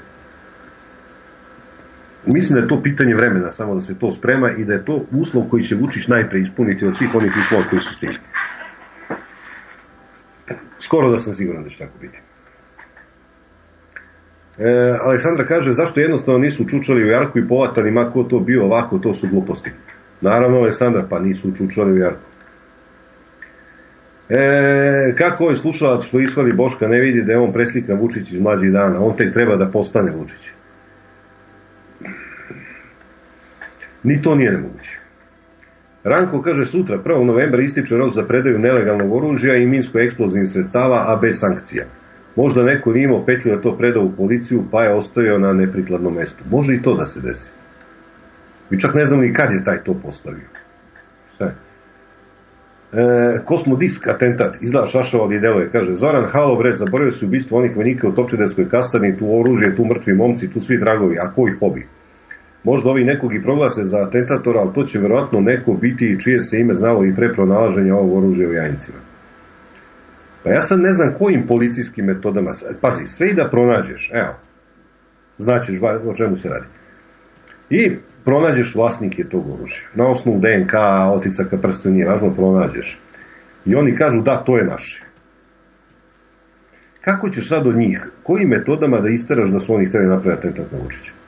Postoji samo jedan metod, tortura. Jer ti nemaš drugi način da, da, da, da objasniš da su oni hteli da izvedu atentat. Ne, to je to.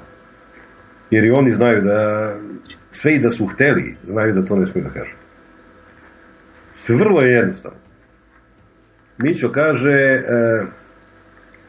vidim Lanče, ja bi sad ozbiljno izborima, predsjednik će biti onaj koga podržava Zapad, da li direktno ili preko režima u Srbiji. Boško da kojim čudom i osvoji nenadavno veliki broj glasova, bio bi pokraden kao i svaki drugi koji je bio protiv EU integracija, NATO i tako dalje. Pa bre, odakle tebi ideja da je on protiv toga? Jesi ti vidio njega sa ambasadorom Scottom u izbornoj večeri? Jesi ga vidio na Bini sa Tadićem, sa Borkom Stefanovićem, sa svima njima tamo, sa Čedom? Mislim, e, možda si ti upravo, ali pokušaj da izvučeš zaključke iz onoga što vidiš, a ne samo iz onoga što neko priča. E, Vuk Jeremić, zapadni igrač, Saša Radulović takođe. Šešelj ne znam za koga više radi, ali za sebe sigurno. Toma trudi se jadan preko plana da se izbori za status predsjednika, ali nekako mu ne ide. Ne daju mu mediji. Nikola Šećerovski je taj bi mogao. E, kad bi ustao iz groba, mogo bi. Možda ne bi bio ni najgori. Daniela kaže, za organizaciju o kojoj ste pričali, bojim se da se nikad neće desiti i će biti previše kasno i izgleda da nas čeka ona šljiva. I to može se desiti, Daniela. I to može se desiti. I da bude kasno i da ne bude efikasno. Tačno, sve to može bude. Boki kaže, kolona, a, ne, kaže, vi se zezate, ali vas će unuci na vreme plovu na RTS-u slušati. Na današnji dan je pokušan atentat na Vučića koralom 45 žute boje. Ja mislim da će se sam postarati da ode u legende. Ne mogu sada nagađam, ali mnogo, e, ima mnogo načina, ali to neće biti umiranje, bit će vaznesenje kolona ožalošćenih od rama Svetog Save preko merdarskih barikada do Drača novim autoputem. I kamen, plače i kamen i žandarmerija. da, da, da, da. Kaže, Nenad, ima one misle na te Pinku DNK, pa ko velim da ih angažujemo, ma, veliki majstori svega i svačega, pusti tu priču. E, jedan odličan tekst od Mitra Kovača, savjetujem da pročitate, ja ću vam ga dati sad ovako jednu skraćenu vidu, piše autoput Niš Priština Drač, NATO i veliko albanski projekat. Izvanredan tekst nalazi se na Fondu strateške kulture. Odličan tekst koji govori zašto mi zapravo treba potrošiti milijardu predračunski milijardu evra, a može desiti dakle, to puta dva ovaj, u izgradnji. Da bismo podigli put Niš Drač. I sad, Mitar Kovač kaže, izneću samo osnovne teze, da vas ne umaram puno, tekst možete pročitati i sami. Kaže, prvo, srpski e, narod sa centralnog Kosova iz Metohije je prognan i niko više ozbiljno na zapadu sem deklarativno ne govori o njegovom povratku. Oko 250.000 prognanih živi u unutrašnjosti Srbije i to više nije problem za moćnike NATO i Evropske unije. Oni računaju na zabora Srba i servilno ponašanje vlasti od 2000. do danas. Drugo, valjda bi red poteza trebalo da bude sasvim drugačiji, da upravo te vodeće države NATO i Evropske unije insistiraju na povratku prognanih Srba, i na poštovanju rezolucije 1244 Saveta bezbednosti Ujedinjenih nacija. Ali to nije moguće jer je cilj agresije e, NATO bio okupacija kosmeta i stvaranje lažne države Kosovo. Treće, ne može se graditi svetla budućnost srpsko-albanskih odnosa na otetom Kosovu i Metohiji, upravo sa onima koji bez imalo srama govore o nezavisnosti Kosova i njegovom prisjedinjenju Albaniji. To je upravo ta Albanija koja je sa istim ciljevima u skladu sa projektom Velike Albanije učestvovala u agresiji na SR Jugoslaviju 99. godine. Vlasti Albanije od agresije 99. godine ostale su dosledne u podršci separatističkoj vlasti u Prištini. Predsednik vlade Albanije Edi Rama u svom kontaktu sa srpskim zvaničnicima otvoreno govori o nezavisnosti lažne države Kosova. To je dovoljan razlog za prekid svih odnosa sa Albanijom dok ne promene spoljnu politiku, a ne da se na srpskoj nesreći produbljuje nacionalna katastrofa u budućnosti. Peto, istinska saradnja sa Albanijom nije moguća dok se ne povrati vlast Srbije i puni suverenitet na Kosovo i Metohijom i dok se srpska zastava ne zaviori na prokletijama i na šari. Nije moguće tražiti mir, saradnju i razvoj na srpskoj nesreći i otimanju suštine srpskog nacionalnog bića. Šesto, ceo proces intenziviranja saradnje sa Albanijom i lažnom državom Kosovom odvija se pod instrukcijama i pritiskom administracije SAD neposredno i posredno preko NATO i Europske unije. Sedmo, proces saradnje Srbije i Albanije u potpunosti opravdava i prikazuje se kao srpska nacionalna potreba i razvojni projekat Srbije. Preko medija koji su pod kontrolom Zapada uzdigovano obrazloženja vajnih analitičara opravdavaju se takvi pogubni politički potezi vlasti. Osmo, autoput Niš-Prištana Drač jeste izvorna albanska nacionalna potreba i potreba SAD kao njihovog saveznika. Za vreme mira taj autoput jeste u funkciji dalje afirmacije projekta Velike Albanije. 9. Nije problem što albanski političari se bore za svoje nacionalne interese, nego je problem što se vlasti u Srbiji već duže vreme servilno odnose prema Americi i vodećim državama NATO i EU, koje promovišu i podržavaju Albaniju suprotno srpskim nacionalnim interesima. Takav odnos se pravda potreban dobrih odnosa sa Zapadom, potreban razvoja i izgradnje neke bolje evropske budućnosti kroz evropske integracije, pa makar i na štetu srpskih nacionalnih interesa. Deseto, velika je srpska nesreća, što u saradnji sa Albanijom vidi svoju budućnost, dok joj se demografski prazni toplički, jablanički i pčinski region. Takvi odnosi sa Albanijom nisu potreba naroda tih krajeva. Naprotiv, saradnju sa Albanijom posle iskustva sa Kosovom i Metohijom i briselskih pregovora doživljavaju kao strah i zemlju za svoju budućnost i budućnost potomaka. Savetujem da pročitate ovaj tekst, veoma je, kako bi rekao, sadržajan, ozbiljan. Ovo je prvi deo, drugi deo je još ozbiljniji i još ovaj, konkretnije govori o tome čemu treba služi taj autoput koji će biti podignut o, naše, o našem trošku. Pored toliko zapuštenih puteva u Srbiji, pored ruiniranja svega i svačega, ovaj, sad treba da još i ovo uradimo. Fantastično. Kaže, ako neko želi promjene u Srbiji, kaže Aleksandra, mora prvo e, nakradni sistem da se promeni za sve ljudima koji su sada u njemu i tek tada i samo tada može neko dobronameran da pobedi i vodi Srbiju. Snežana konačno iz Podgorice posle 100 godina pozdrav Milane nikad za nikad da osvane ponedeljak, a da smo osobenjaci, jesmo i hvala na svakoj emisiji i celoj ekipi što postojite. Šta da radiš? E, svako od nas ima izbor. Ili će se utopiti u gomilu i tu se nekako ušuškati. U gomili toplo, znaš. A što se više penje, što je ladnije. A ko je najviše na vrhu njemu najladnije. Mi smo se nekako odlučili da se ne guramo u gomilu i to je to. Da li je to dobro, da li nije dobro, ja ne znam. Teško je tu i pametan biti, reći zašto. I konačno, ono sa čicom danas htio da upoznam, jeste jedan tekst Dejana Tadića, našeg prijatelja ekonomiste. E, odličan je tekst, ne znam koliko ima smisla prepričavati ga, ali otprilike kaže tabela govori više od reči. Ekonomski podaci Srbije, okruženja, uz kratak komentar. E, ovaj, Dejan daje zapravo tabelu, samo što je tabela vrlo teška za, za, za pokazivanje, što kaže, ali tabela govori sledeći. Posle svih ovih naših hvaljenja nesnosnih, kako nam dobro ide, Dejan je dao tabelu u kojoj kaže da je naš BDP e, u ovom trenutku veći od makedonskog. Imamo 37, oni imaju 10 milijardi, veći od Bosne i Hercegovine više nego duplo i veće od Albanije, ali manji od Hrvatske, manji od Slovenije i manji od Bugarske. E, rast BDP-a godišnje kod nas 2%, Hrvatska 2,8%, Makedonija 2,2%, Slovenija 2,7%, Bosna i Hercegovina 2,3%, Bugarska 3%, Albanija 3,2%. Rast našeg BDP-a je najmanji u regionu. E, zatim kamatne stope kod nas su 4% i u Makedoniji su 4%, Bosna i Hercegovina 5,20%, ovi razvijeni imaju manje kamatne stope, Hrvatska 2,5%, Slovenija 0 kamatne stope. Stopa inflacije je kod nas 0,6%, e, Hrvatska minus 0,9, znači ima deflaciju, Makedonija 0,2, Slovenija ima kao mi 0,6, Bosna i Hercegovina minus 1,2, Bugarska minus 0,6, i Albanija 1,8, ona je jedina koja ima više od nas. Stopa nezaposlenosti, ona koja je prikazana, a za koju ja lično mislim da je frizirana u javnosti, dakle 15-20 u Srbiji, e, Hrvatska 13%, Makedonija 24%, ja mislim da u Srbiji vrlo slična nezaposlenost, samo što je maskirana statistički, e, Slovenija 10%, Bosna i Hercegovina ima veliko nezaposlenost 41,6% i ovi drugi su ostali ispod nas uključujući tu i Albaniju koja se kolje s nama. Dug u odnosu na BDP 73,4%, Hrvatska je malo jača od nas 86%, Makedonija duplo manje, duplo manje zaduženje 38,40%, Slovenija zabrinjavajućih 83,20%, Bosna, Hercegovina, Bugarska oko 30% i Albanija 72%.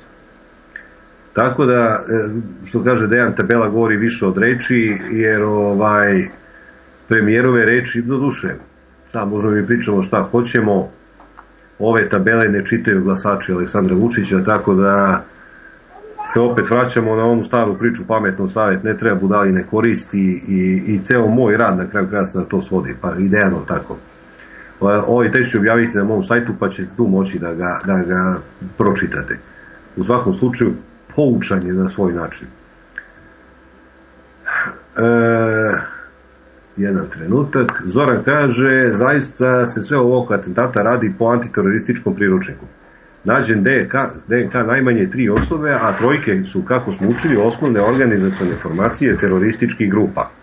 Nego ovo DNK to beše skraćenica od da nije komšino.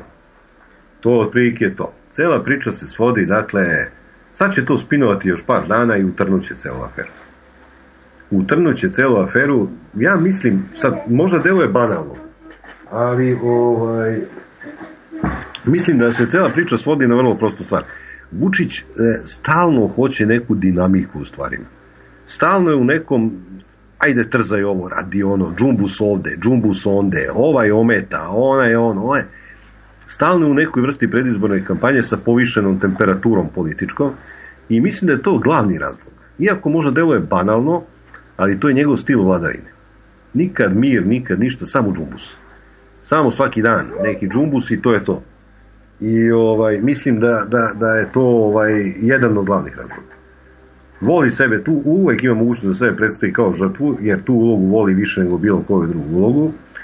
E, ima mogućnost da preko medija ispaljuje salve, dakle i konferencije za štampu i izjava ministara i 300 čuda, osvežava, malo diže onu klonulu temperaturu kod svojih pristalica, jer baš paradoks je taj da njegove pristalice uglavnom nemaju šta da jedu i onda mora da ih nahrani informerom i pinkom, jer nema šta drugo da im da. I onda mislim da on voli to. Prosto to je način, Šešelj je volio stalne skandale, stalne džumbuse. To, to je taj jedan odnos prema, prema politici. Tako da ne bi me iznenadilo da ovo prođe bez ikakvih posledica, ne po moguće atentatore, nego bez ikakvih drugih, da se ne provuče ni jedna druga priča u pozadini, da se ništa ne desi, da je ovo sve zapravo. Jer se voli džumbus, voli se, to, to je nekako... E, kaže Sneža, e, ovde je najveća i besposlednost, i bezosjećajnost, i beda, i jad. Vidi, ja ne mogu da znam. Ja stvarno ne mogu da znam. E, šta neki Borisov misli o Bugarima, šta neki Grojevski misli o Makedoncima, ne znam čak tačno ni šta Milo misli o Crnogorcima, znam šta misli o Srbima. Ne znam šta misli o Crnogorcima. Ali da neko ovoliko ne uvažava svoj narod, da neko ovoliko tovari, pa nikad Milo Đukanović neće izaći i reći Crnogorci su lenji, pokvareni, zlini, oni su primitivni, prosti, treba da rade, da budu ko Nemci, to nikad jedan Milo Đukanović neće izaći i reći. Ne znam da li je to nekad rekao Grujenski, da li je to iko rekao negde osim Vučića. Ovoliko ni podaštavanje svoga naroda ja nisam slutio da može da se desi. Prošao sam nekoliko režima u svom životu. Ovaj, ona prva dva režima, onaj komunistički, onaj režim Slobe Miloševića, nekako su voleli da hvale svoj narod. Mi smo najjači, najveći, najbolji, nama niko ne može ništa, lepi, pametni, uspešni, sportisti, 300 čuda, naša pamet, naše fabrike, bilo sve i svašta. Onda od 5. oktobra počinje pad samopoštovanja. Mi sve treba da učimo od drugih, mi smo sve promašili, cela naša istorija zabluda i sada to dostiže jedan svoj prirodni vrhunac sa Vučićem u kome će na kraju da se ispostavi da smo konji da on zapravo upravlja ergelom, a ne državom. To je vrhunac. E sad, to, kako da kažem, pa, ako ljudi to prihvataju, ako deo biračkog tela koji za njega glasa stvarno prihvata tu priču, da smo mi nikakvi, a verovatno prihvata iz prostog razloga što ima ogledalo. Pa vidi sebe u ogledalu i kaže upravo je Vučko. Evo ja nemam posao, znači neradnik sam, e, len sam, pošto nemam para, ne mogu držati ni higijenu, dakle prljav sam. To je to. paradoks, eto, to je paradoks da, da, da za njega baš glasaju oni koji imaju najmanji motiva da za njega glasaju. Tako ide. Nismo se, kaže, mi odlučili da ne budemo u gomili, to je stvar karaktera, kaže vlada. Ovo oko atentata je kao kad ispričaš švic na kojim se niko ne smeje, pa se onda prebaciš na drugu temu. Da, da, da, to ti ono, znaš ono, sam ja malo dao pouku, čuo si za onu poslovicu, ko se posljednji smeje, najslađe se smeje. A ja sam iz toga zaključio da je to otprilike ko se posljednji smeje, taj nije razumeo vic, pa mu se onda drugi smeju, tako da se on čak ne smeje posljednji. Tako sam ja to malo proširio. A, e, kaže, e, e, da ne budemo gomili, to je stvar karaktera. Ja isto mislim da neke porodice odgajaju samosvesni ljude. Samosvesni ljude. Ljude koji se ne plaše da budu drugačiji. Mislim da to dolazi po porodičnoj liniji, da to nije samo stvar slučaja, haosa i tako dalje, nego da u nekim porodicama imaš nekog pretka koji je već bio takav. I onda se to na tebe zakači. Evo, gledaš Nežu iz Podgorice, iz jednog komada salivena. Tvrda, nepokolebljiva. E, to je to. Ili Gojko Rejčić koji je tvrd kao kamen, nepokolebljiv potpuno. To se desi čovek. I ne pita šta košta da to bude. Tamo gde počinju kalkulacije, tu već prestaje svaka, svaka, svaki karakter počinje kalkulacija, da li da postupimo ovako, da li da, šta mi je pametno, šta je korisno, gotovo. Gotovo, sa tim razmišljanjem već sve ode u tandariju. Tako da, da pretpostavljam da mi ovde koji smo se skupili, da to je jedna malo drugačija ekipa, ne mislim bolja, ne mislim lepša, ne mislim ništa, nego prosto mislim ljudi čvršćeg karaktera, spremniji prosto da, da, da nose neki krst na sebi. Zašto je to tako? Ko zna? Kaže, Mila, kažeš da će torturom doći do priznanja koje i zašto je oružje tu ostavio, pa za nije lakše plaćanjem. Isproban sistem, nađeš nekog ko već ima u fastikli pravosnažnu presudu, uceniš ga i daš mu neki evrić, ima da prizna da je bio na Foklandima na strani tačerke. Što kao nikad nisu to uradili, pa su gadljivi ili im žao narodnih para. Može uceno, može parama, može svako jako. Ali sad stavi se ti u poziciju nekoga ko je tu sakrio oružje. I sad znaš, ako uspeju ti uvale atentat, to je jedno 20 godina robije. A sakriveno oružje je 3, 4, 5 godina. I sad kako će da te natriju da kaže da je to bilo radi atentata? Da ti daju pare da robijaš 15 godina, teško. Da ti vade nešto iz fioki i to je 6 meseci, godinu, dve, nije ni to 15 godina. Znaš, e, biće teško povezati onoga ko je ostavio oružje, ako uopšte takav postoji, ako sve nije konstrukcija, biće vrlo teško povezati ga sa atentatom. Ti treba od njega da dobiješ izjevu da je on hteo da napravi atentat, jer ti ne možeš ga smestiš u polje atentata. Jer ostaviti negde u šumi oružje nije isto što i zamišljati i pripremati atentat, to su dve različite stvari. Ti treba sad iz njega, bilo batinama, bilo nečim drugim, da isteraš priznanje da je on baš to hteo. Nije tako jednostavno. Kaže, Mićo, Milanče, da li to čujem neki slatki dečiji glasić u studiju iza tebe? Ako jeste, idi čoveče kući, tamo je najlepše. Va istina. E, Stef kaže, danas je Vučić na slavi kod kuma Šešelja, Sveti Luka, Slava Šešelja. Jeste. Veliki marksistički pravoslavac i nekadašnji sekretar partijske organizacije na fakultetu slavi Svetu Luku. Milane, čitaj naglas, kaže Emili. Aha, aha, Pa ne znam baš šta da ti kažem, ja mislim da nije tako. Ja mislim da on to simulira. Ja mislim da on to simulira, da, da, da tu uopšte nije e, to što ti misliš. Poštovanje Milane kaže Aca, samo e, Budala može misliti da će ubistvom premijera rešiti sve ovo što nam se dešava. Ti koji nama vladaju imaju na desetine takvih kao on u rezervi koji jedva čekaju da ga zamene. Na bilo koji način e, na bilo koji način i da nas zajašu po tradiciji uvek gore od prethodnog. Videli smo šta se desilo sa Đinđićem i šta našla se zamena i sve je isto. To je to mojaca. Teorija od dva metka generalno ne drži vodu. Ubiti jednog čoveka ne rešava problem. To je glavna mana. E sad, atentati se zato i ne izvode iz političkih razloga. Atentati se izvode iz biznis razloga, jer tu dva metka već mogu da završe neki posao, i atentati se izvode e, iz razloga kad izvesni političar na zapadu, recimo, počne da misli da stvarno može vodi politiku. kad zaboravi koga je postavio. Pa reši da on vodi politiku. Moja teorija da je Kennedy, ja nemam dokaz nikakav, ali u logici stvari je da je Kennedy metak popio zato što je utripao da može vodi politiku. Samostalno i slobodno.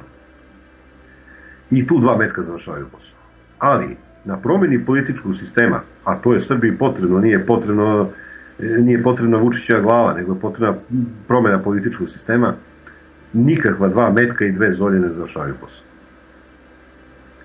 Promjena političkog sistema je važna, a promjena jednog čovjeka ne znači ništa, jer Vučić jeste eksponent i zapada i političkog sistema. On je samo vidljivi deo njegov. Ništa se promenilo ne bi, što kaže Aca, ode Đinđić, dovedoše sledeće kao da ništa nije bilo. Da vas podsjetim, Zoran Živković je doveden bez izbora. Iako je Ustav, to sam čitao svojim očima i, i, i gledao, ukoliko je predsjednik vlade iz nekih razloga, tako je Ustavu piše, doduše to je žabljački ustav, ali tad je taj bio kad je Đinđić ubijen, ako padne, ako premijer ne može da vrši dužnost iz nekog razloga, pada ceo kabinet. Dakle, ne može da, da, da ostane kabinet i da između sebe izabere novog premijera. E, to se upravo desilo posle Đinjiće smrti, kad je Zoran Živković nasledio e, mesto predsjednika vlade, bez izbora, bez pada kabineta, bez ičega. Mimo, potpuno protivustavno na keca. Znači, ono kad bi dete iz drugog razreda srednje škole čitalo ustav, tu nema začkorice, tu nema nekih složenih pravnih termina i ne znam ja šta, vrlo jednostavna rečenica, ukoliko je premijer spečen da vrši dužnost iz bilo kog razloga, a smrt je jedan recimo relativno opravdanih razloga, ovaj, pada kabinet, pada vlada. Ništa se od toga nije desilo. Prema tome, Zapad može da zameni nekoga za 15 minuta, uključujući tu i, i, i samog Vučića. Bukvalno do popodne bi našli novog mandatara. Zato je besmisleno vršiti atentate na taj način. To čak više ne šalje ni simboličnu poruku.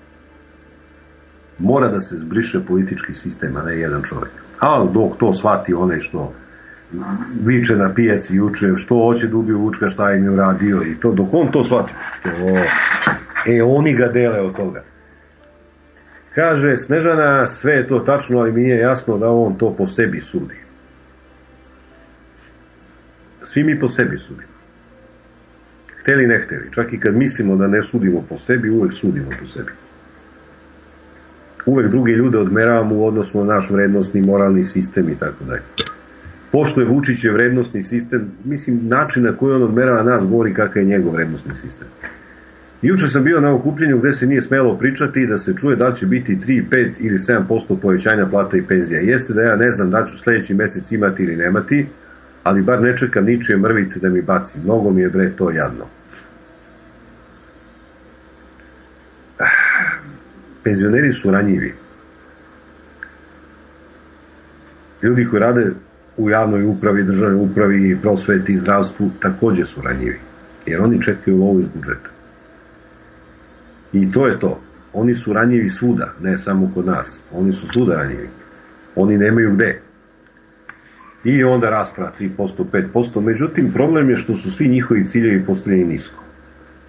Sad zamislite kako bi jednu vladu moglo da destabilizuje jednu vladu koja je vrlo recimo podložna e, e, ispunjavanju zahteva taksista jer mogu da parališu Beograd.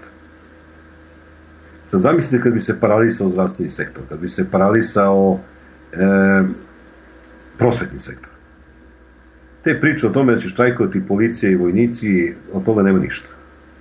To će biti minorni štrajk i policija je u ovom trenutku veoma zadovoljna. I policija je u ovom trenutku veoma raspoložena da čuva režim, možda u nekom drugom trenutku neće biti, u ovom trenutku je veoma zadovoljna. Vojska veoma zadovoljna. Plate male, sigurnost solidna, posao nikakav, dakle, malo koreografija, malo ovo, malo ništa ozbiljno, službenički posao to neće biti ništa. Ali jedan ozbiljan štrajk u zdravstvu ili u prosveti bi ozbiljno uzdrmao državu. Ali toga nema. Oni razmišljaju da li 3%, da li 5%. Njihovi ciljevi su mali. I pošto su ciljevi mali, malo će i dobiti. To je tako. Oni ne traže 20% pa da se nađu na 10. Oni čekaju koliko će učiti sam da im odredi. i bit će veoma zahvalni na tih 5-6%. Ako dostigne 7%, bit će šelu, odmah kolju prasa. Dakle, postavljeni su nisko ciljevi, tu su u pravu, veoma nisko su postavljeni ciljevi. Niko tu i ne traži nešto ozbiljno.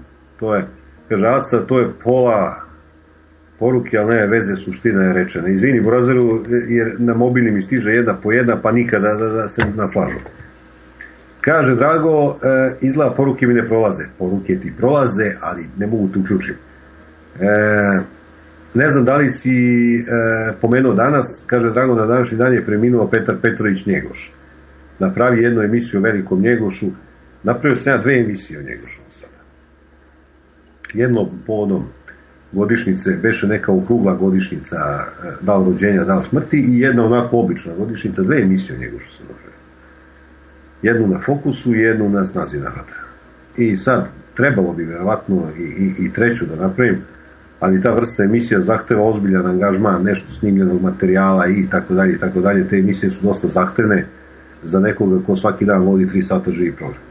Pa još to bonus poklona dosta. Ali svakako to njegov zaslužuje. I dobro bi bilo čitati Njegoša ko hoće da razume i politiku. Treba čitati Njegoša taj naturalistički pristup politici. To je nešto što e, Srbi odavno nemaju u sebi. Od kad su prestali da žive na selu, više nemaju naturalistički pristup ničem. Sad je to doktrinarni pristup. A čitati Njegoša vaza celog života je vrlo korisno. Kaže, vole, sve sve, ali na RTS-u su genijalci. Ovako su pisali. Prvo, dogovaramo rusku vojnu pomoć. Drugo, Vučić se sreo sa Putinom. Treće, stići će dva helikoptera. Četvrto, Dva helikoptera sletela na aerodrom, Nikola Tesla. Peto, ruski helikopteri danas uzleću i sa Nikola Tesla idu na Batajnicu. Šesto, oba helikoptera sletela na Batajnicu. Sedam, Storija, pilot koji učestvo u ratu 99. priča o značaju helikoptera i saradnje sa Rusima. Osmo, vojna vežba, ruski i srpski piloti u oba helikoptera vežbali napad na Ameriku i Englesku. I to sve na istom mediju, na svake dve nedelje helikopteri, a time i Rusija sleću na naslovne strane RTS, autoput Niš Drač je ugovor sa NATO paktom. To je ta priča. Rusi ti pošlju dva helikoptera, sad zamisli u onoj Jugoslaviji nekadašnjoj, da te mediji izveštavaju o uzletanju svaka dva helikoptera ili dva aviona. Pa svaki dan je negde grmelo. Leteli su ko besni. Sad zamislite izveštava glavni servis o tome da su poletela dva helikoptera, pa tako pet puta. Sad su ovde, sad su ovde. Pokazuje svu bedu u kojoj se nalazi uskoro će izveštavati kad policijskog ovaj, e, e, vojnog psa izvedu, razumeš, iz, iz kućice, pa ide da njuška i to će biti vez za RTS. Živimo u mala vremena, u vremena malih zamaha, malih poduhvata.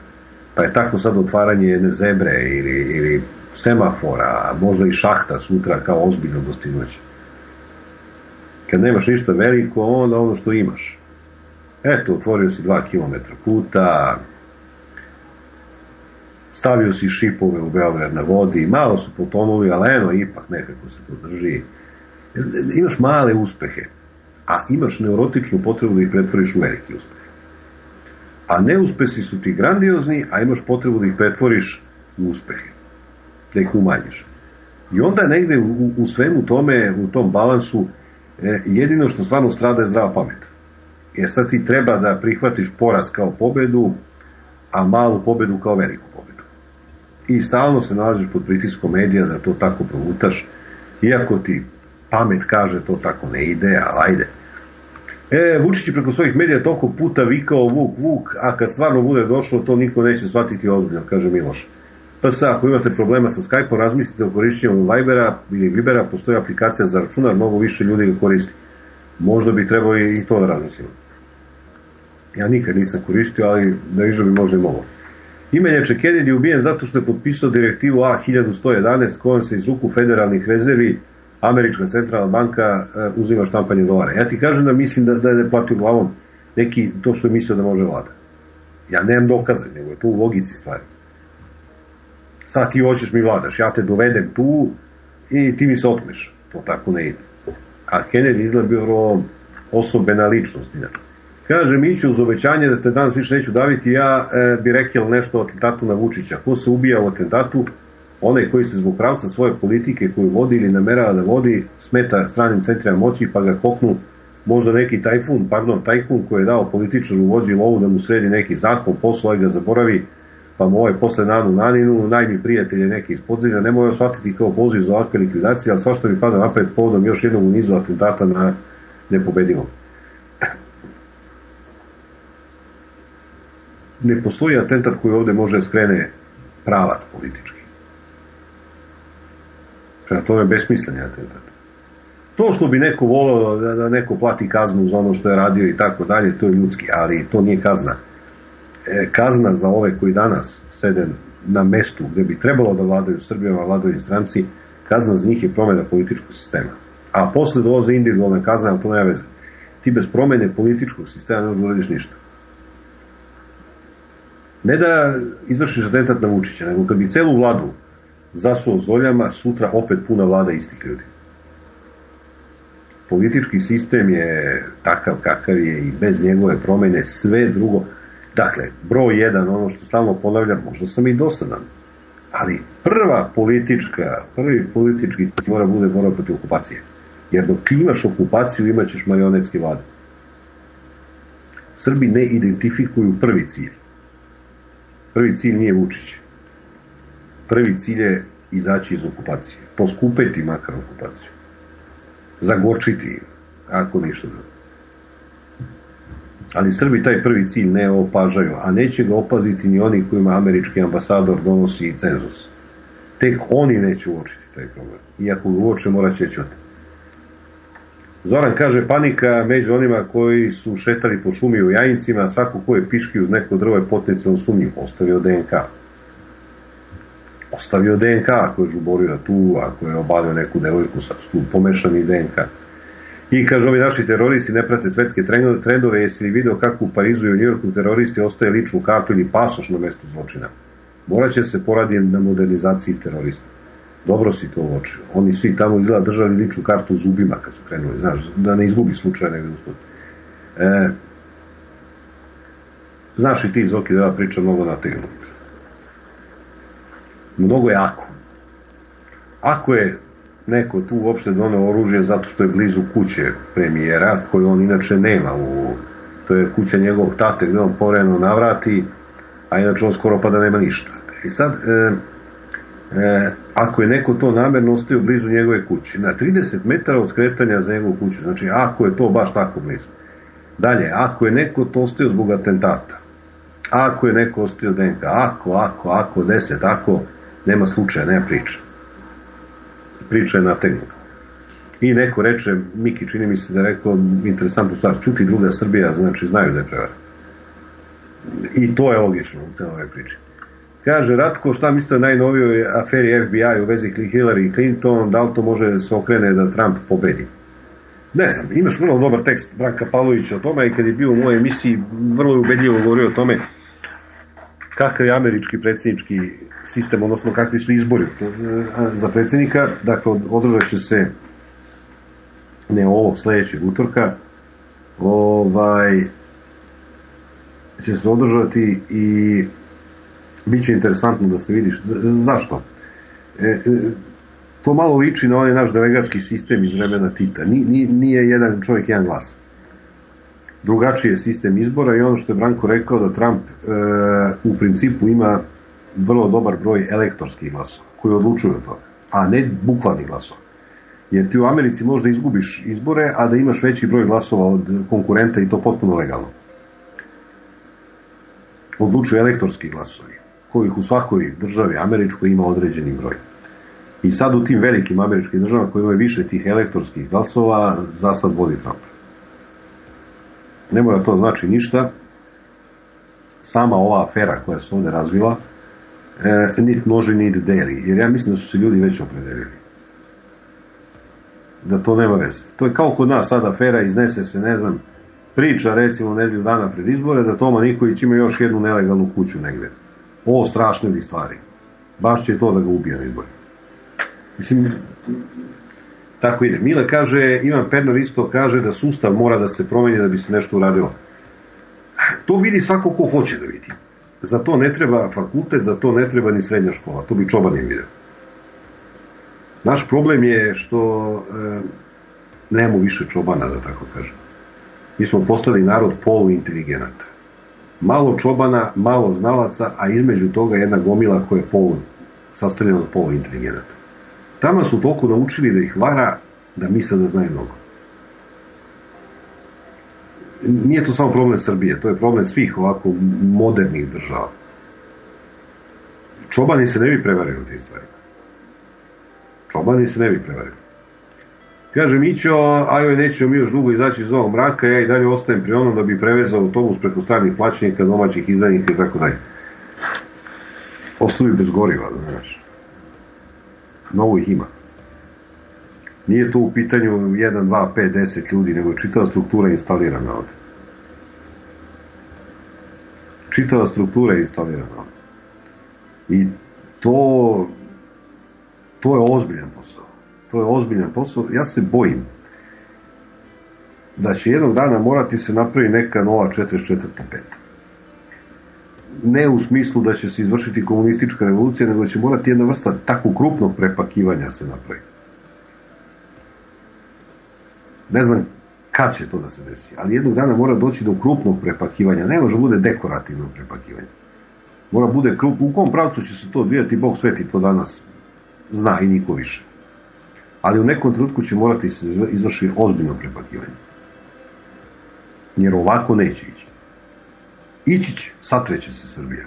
Ako Srbija na kraju kraja nema zaštitne nagone, ako su ljudi izgubili elementarne odbrambene mehanizme, onda zaslužujemo da nestane. Nema tu nepravde prema nama. Ako nam je sve sve jedno,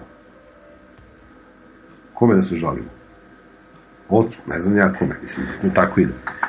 Rade kaže, e, sećaš kad je Šešelj još iz Haga rekao da će Vučić priznati Kosovo. Kome sad nije jasna igra obojice, onda je u velikom problemu. Svakako će Vučić uraditi sve što mu zapad kaže. I svakako neće odbiti ništa. Vrlo je naivan onaj ko misli, vrlo je naivan onaj ko misli da će Vučić pružiti otpor zapadu. Ali postoji velika mogućnost da pruži otpor istoku. To je tako. No, i da znamo i ovo, Vučić nije izuzetak u tom pogledu. Vučić je gotovo pravilo u našem političkom životu. Srbi od kneza Miloša do danas ne mogu da uknjiže jednog ili dvojicu rusofila na vlasti. Nama se čini da je Vučić izuzetak. Vučić je pravilo u našem političkom životu. Svi su bili okrenuti zapad. Možda je Pašić balansirao. Između dva svetska rata nismo imali ni odnose diplomatske sa Rusijom. Odnosno tada Sovjetski savez. Dakle, ovde se uvek vodila da li austrofilska, da li anglofilska, da li frankofilska politika, ali ovde se uvek vodila prozapadna politika, a klicalo se Rusiji. I u tom smislu krivo sedi, pravo besedi, Vučić nije prvi takav. Nije prvi takav. Ono što je redko kod nas bilo isto, e, Slobodan Milošević je bio u nekim periodima suverenista. A to je isto tako, ne stalno, nego povremeno u napadima, a to je vrlo redka politika kod nas bila. Suverenistička politika. Ne može niko da mi priča da je Koštunica bio suverenista, a došao na krilima zapada na vlast. Mislim, to su priče za malu decu i za pristalice. Ali suštinski u Srbiji se redko ideja suverenistička uopšte postojala. Suverenistička ideja ima svoje poreklo u knezu Milošu, u praktičnoj politici u Garašaninu u nekoj, da kažem, teorijskoj sferi. Ali ona vrlo brzo napuštena, već kralj Milan nije bio suverenista. I posle toga smo se nagli na zapad do drugog svetskog rata. Od drugog svetskog rata oslonac na Rusiju, a posle rata opet oslonac na zapad. I to je tako stalno. Dakle, suverenistička ideja je gotovo nestala iz Srbije. Poslednji trza i suverenističke ideje, nije to ni srećan izraz. Ali, ajde, uzmimo ga uslovno. E, trza i suverenističke ideje su bile, bili kod Slobodana Miloševića i to samo u velikim krizama za njega i njegovu porodicu. Kad se plašao da će pasti s vlasti, onda je postao suverenista na mahove.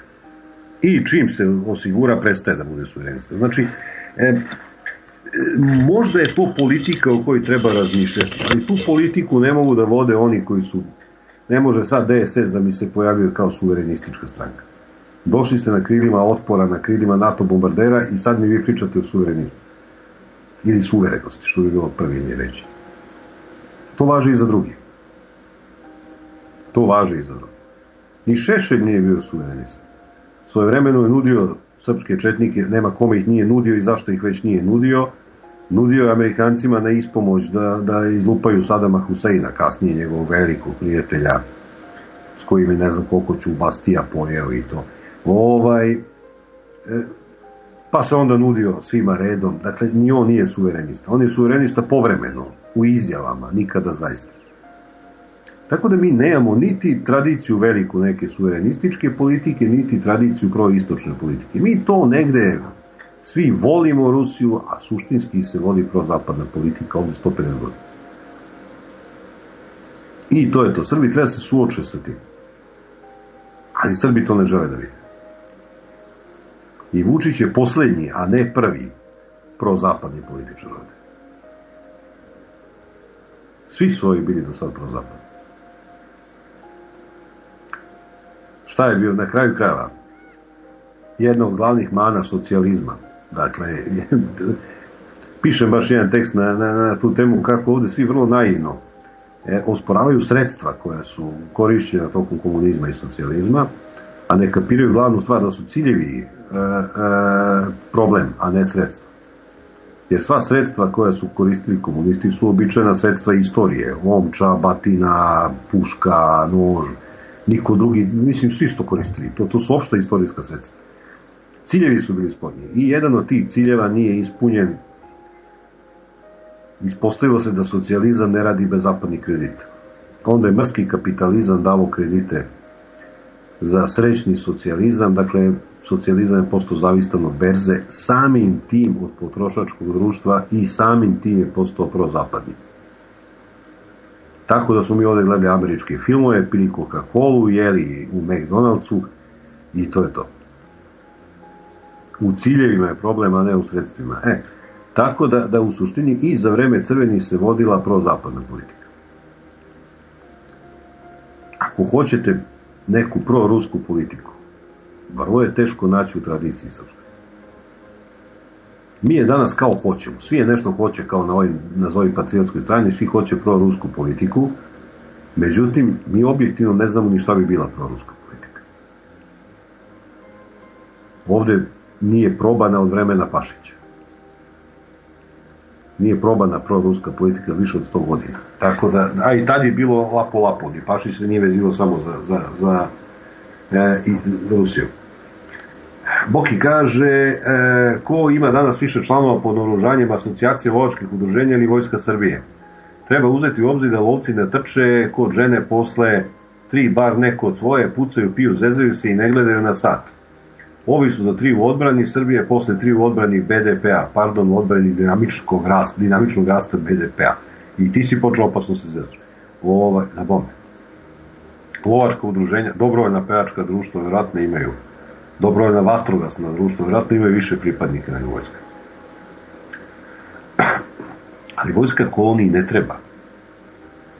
Ne znam ko to ozbiljno razume ili ne razume. Kolonije imaju vojsku i policiju da represiraju njihovo stanovništvo. Vojska i policija nisu okrenuti prema spolja, okrenuti su kao unutra. To tako treba razumeti. Šta će koloniji vojska? Da se brani od e, kolonijalnog gospodara? Šta želi kolonijalni gospodar? Zemlja sa jakom vojskom. Samo mu to treba. Bojan kaže, e, samo trenutak Boki, kaže što se tiče nas ljudi s ovog radija, mi smo najprostije rečeno ljudi koji vole slobodu u svakom pogledu i ne pristajemo na kompromise bilo kakve vrste. Sve ostalo je malo i nevažno. I naravno da sloboda ima svoju cenu u vidu posmeha, izvagavanja, ruglo i tako dalje. A šta sad, roblje treba da ti kliče što si slobodan. Pa roblje najviše mrzi slobodu. Rob mrzi slobodu, svako ko je slobodan. To je tako. Ma, definitivno jeste. Ja sam uverio u dodiru sa mnogim ljudima, ja znam stotine vas. znate uslom koliko smo se viđali i sretali, znam ljude, svi smo mi malo ekscentrici. Jer i sami treba da se upitamo, kako smo preživjeli 25 godina ove torture, a da, da nešto postoji što jeste malo i pomereno ekscentrično u nama, jer kaže onaj aforizam ko ovde ne ponudi, taj nije normalan. E, tako i to. E, Drago kaže, e, pa ako ova bedevija koja je na vlasti kaže da su Srbi neradnici i nesposobni da vode silne firme po Srbiji pa prodaje sve strancima, kako to on misli da on vodi državu ako je on Srbin ili možda i nije. Ili je Srbija na tenderu. Nema na njega atentata, on treba sam da se uposti. Vidi, to je prigovor bio jedne sjajne žene, one matičke koja je bila ministar nekad. Kaže, kako država hoće prodati telekomunikacije, jer kaže da je nesposobna da vodi telekom, a kako je onda sposobna da raspolaže parama od prodaje telekom. To je kvaka 22. Ova država je nesposobna da upravlja firmama, ali je sposobna da upravlja parama od prodatih firma. Pa znaš šta, kad imaš pare i moja baba sposobna da raspoređuje, ispravno ili pogrešno. Ali stvarati pare je problem. Kaže Zoki, ministar unutrašnjih poslova Nebojša Stefanović poručio ambasadoru SAD u Srbiji Kajlu Skatu, odnosno sad je opet Skat, da se ne pozabavi protestima ljudi u američkim gradovima, a ne rušenjem ilegalnih objekata u Beogradu. Zar mi nemamo ambasadora u SAD koji bi mogao time da se pozabavi, baš me zanima kako bi se proveo. Pa verovatno bi e, za 15 minuta morao da bude u avionu. Bez obzira da je taj avion leti. Rekli mu ide tamo negde u Quebec, pa odande vata i za Srbiju. Ali oni su ozbiljna država. A mi smo, ma kakva banana, nekad banane države bilo ozbiljne u odnosu na što mi danas živimo. Vlada kaže, e, za par godina svakako ćemo saznati Vučićev patriotizam preko Wikileaksa, kako smo saznali za Tadićev. Mada i onda Vučić će se pravdati da je kao Tomas Zranković bio nateran da peva Lili Marlen. Da, da, prebili ga u WC-u i onda morao pređe njihovu stranu. Ma, pusti te fore i fazone, to, to su ovaj, kako bi ti rekao, fazoni i fore, jer ovde sve prolazi. Svako napravi neko nepočinstvo, onda izađe posle pet godina na mediji i kaže ja sam to morao. I ljudi kaže ja, da čovjek, stvarno i morao. Nemojte zaboraviti, ovaj narod je izlazio na ulice da rani austrougarske zarobljenike koji su dva dana pre toga klali decu mačaju a narod izlazi da im da leba, sažalio se. Jedna od stvari na koje će nove generacije Srba morati da rade ako hoće da žive je upravo tom, to da se ne sažale. Da shvate da je sažaljenje e, privilegija pojedinca, a ne privilegija naroda. Narod ne može da se sažali, ne treba da se sažali. Pojedinac može kako hoće. Mnogo Srbi treba da rade za sebi. Kaže, Talija, sećate li se da je lično Vučić rekao da će za dan pronaći ubicu pevačice? sećam se ja mnogo toga. I kancelarije za brze odgovore. Sećam se ja i fabrike delova za Boeing. Sećam se i, i, i, i fabrike mikročipova. Mnogo toga se ja sećam što je Vučić rekao. Imao sam jednog prijatelja, stari slušalci znaju, ovi novi ne znaju koji ima nadimak Beća. Ja pitam drugi ljude, nisam pitao njega, neprijatno čovjeka pitati, kažem, odakle njemu nadimak Beća? Kaže, zato što stalno nešto obećava, pa kao obećao, pa Beća, obećao. Ona dva O na početku i na kraju otpali i ostao Beća. E, meni Vučić liči na tog Beću. Stalno nešto obećava. I tačno da nadimak Beća ne bi uopšte poremetio. Dakle, to što je Vučić pričao, što je Vučić nekad negde rekao, to mačku u orek, ne znači ništa. To stvarno ne znači ništa. On je čovjek koji suviše priča. E, Zoki kaže, kad smo već kod vojske, ja forsira se priča da je Kosovo potrebna vojska. Idealna prilika da dobiju onih hiljadu vojnika koji sleduju po rezoluciji 24 Šta misliš da će neko od ovih aktornih političara da se seti toga i ponudi kao rešenje? Gde smeju? Pa, ja, Zorane, ti kao ne znaš kinaš posle. Kad bude kad se šiptari budu nakrcali oružje vojske, mi ćemo tada proglasimo, sad je 5-0 za nas, tad će bude 8-0 za nas. Ako bude slušao Marka Đurića i Vučića. Ako proteraju Srbe sa severa, bit će 15-0 za nas. Svaki naš poraz, pobeda. I to pristavice kliču. Tako je. Opet Vučić nadmudrio sve. Stare fore. E, nemoj tako vojska, ti uvek treba kad se svodi račun, kad se udara crta. Danas se šeluči, kaže Bole, po konferencijama za novinare i zabavno informativnim programima, ali kad ta će kafanđija doći sa računom. E, tako će neko morati da bije narod, neće valjda Španci i Portugalci. Ja sam uvek govorio, ko ne voli Špance, nek jede, nek jede pite. Bila je još jedna emisija Gnev Srbije, sutra sam sa vama u redovnom terminu. Ovaj, za danas završi. E, Dragova poruka još da pročitam, kaže, znači od sada svoju ženu zovem Beć, opet ništa od obećanja. pa, zar nije tako, Bećo? to je tako, obećo. to tako ide. Hvala vam što ste bili sa mnom, kao što rekao sutra od 11 smo ponovo zajedno, ostajete na našim talasima, slušajte koleginicu Oliveru, ja vam želim prijatno popodne. Dobar dan, slušate emisiju Dnev Srbije, ja sam Milan Milenković i... Majice si lep. Od tebe sam lepši i kad plačem. Nemoj da Da lažeš. svakako neće doći do povećanja poreza, neće doći do smanjivanja plata, I da si ti muzičar. I 200.000 novih radnih mesta. Puštaj neku muziku, neko nam upada u program. Gde baš ovo nađe? Ko laže, taj i krade. Bože, bože, kuda ide ova zemlja? Mi ne idemo nikud i ne radimo ništa Pa šta smo mi onda? Mi smo jedna velika hipnotisana gomila Ne, bravar je bio bolji. Ajde, počinji više emisiju, ti bi ovako mogao da ulaska u Evropsku uniju. A to će biti za... Da, naša vlast mora da ispuni gomilu uslova. Oni samo moraju da ispune one uslove koje im ja propišem. Lako je tebi, Vojvodo, ti imaš tri obroka dnevno. Nego ajde poručimo nešto Evropskoj uniji, pa da počinjemo. Zašto me vređaš, draga, kad si idol moj? To je to, poštovani slušalci.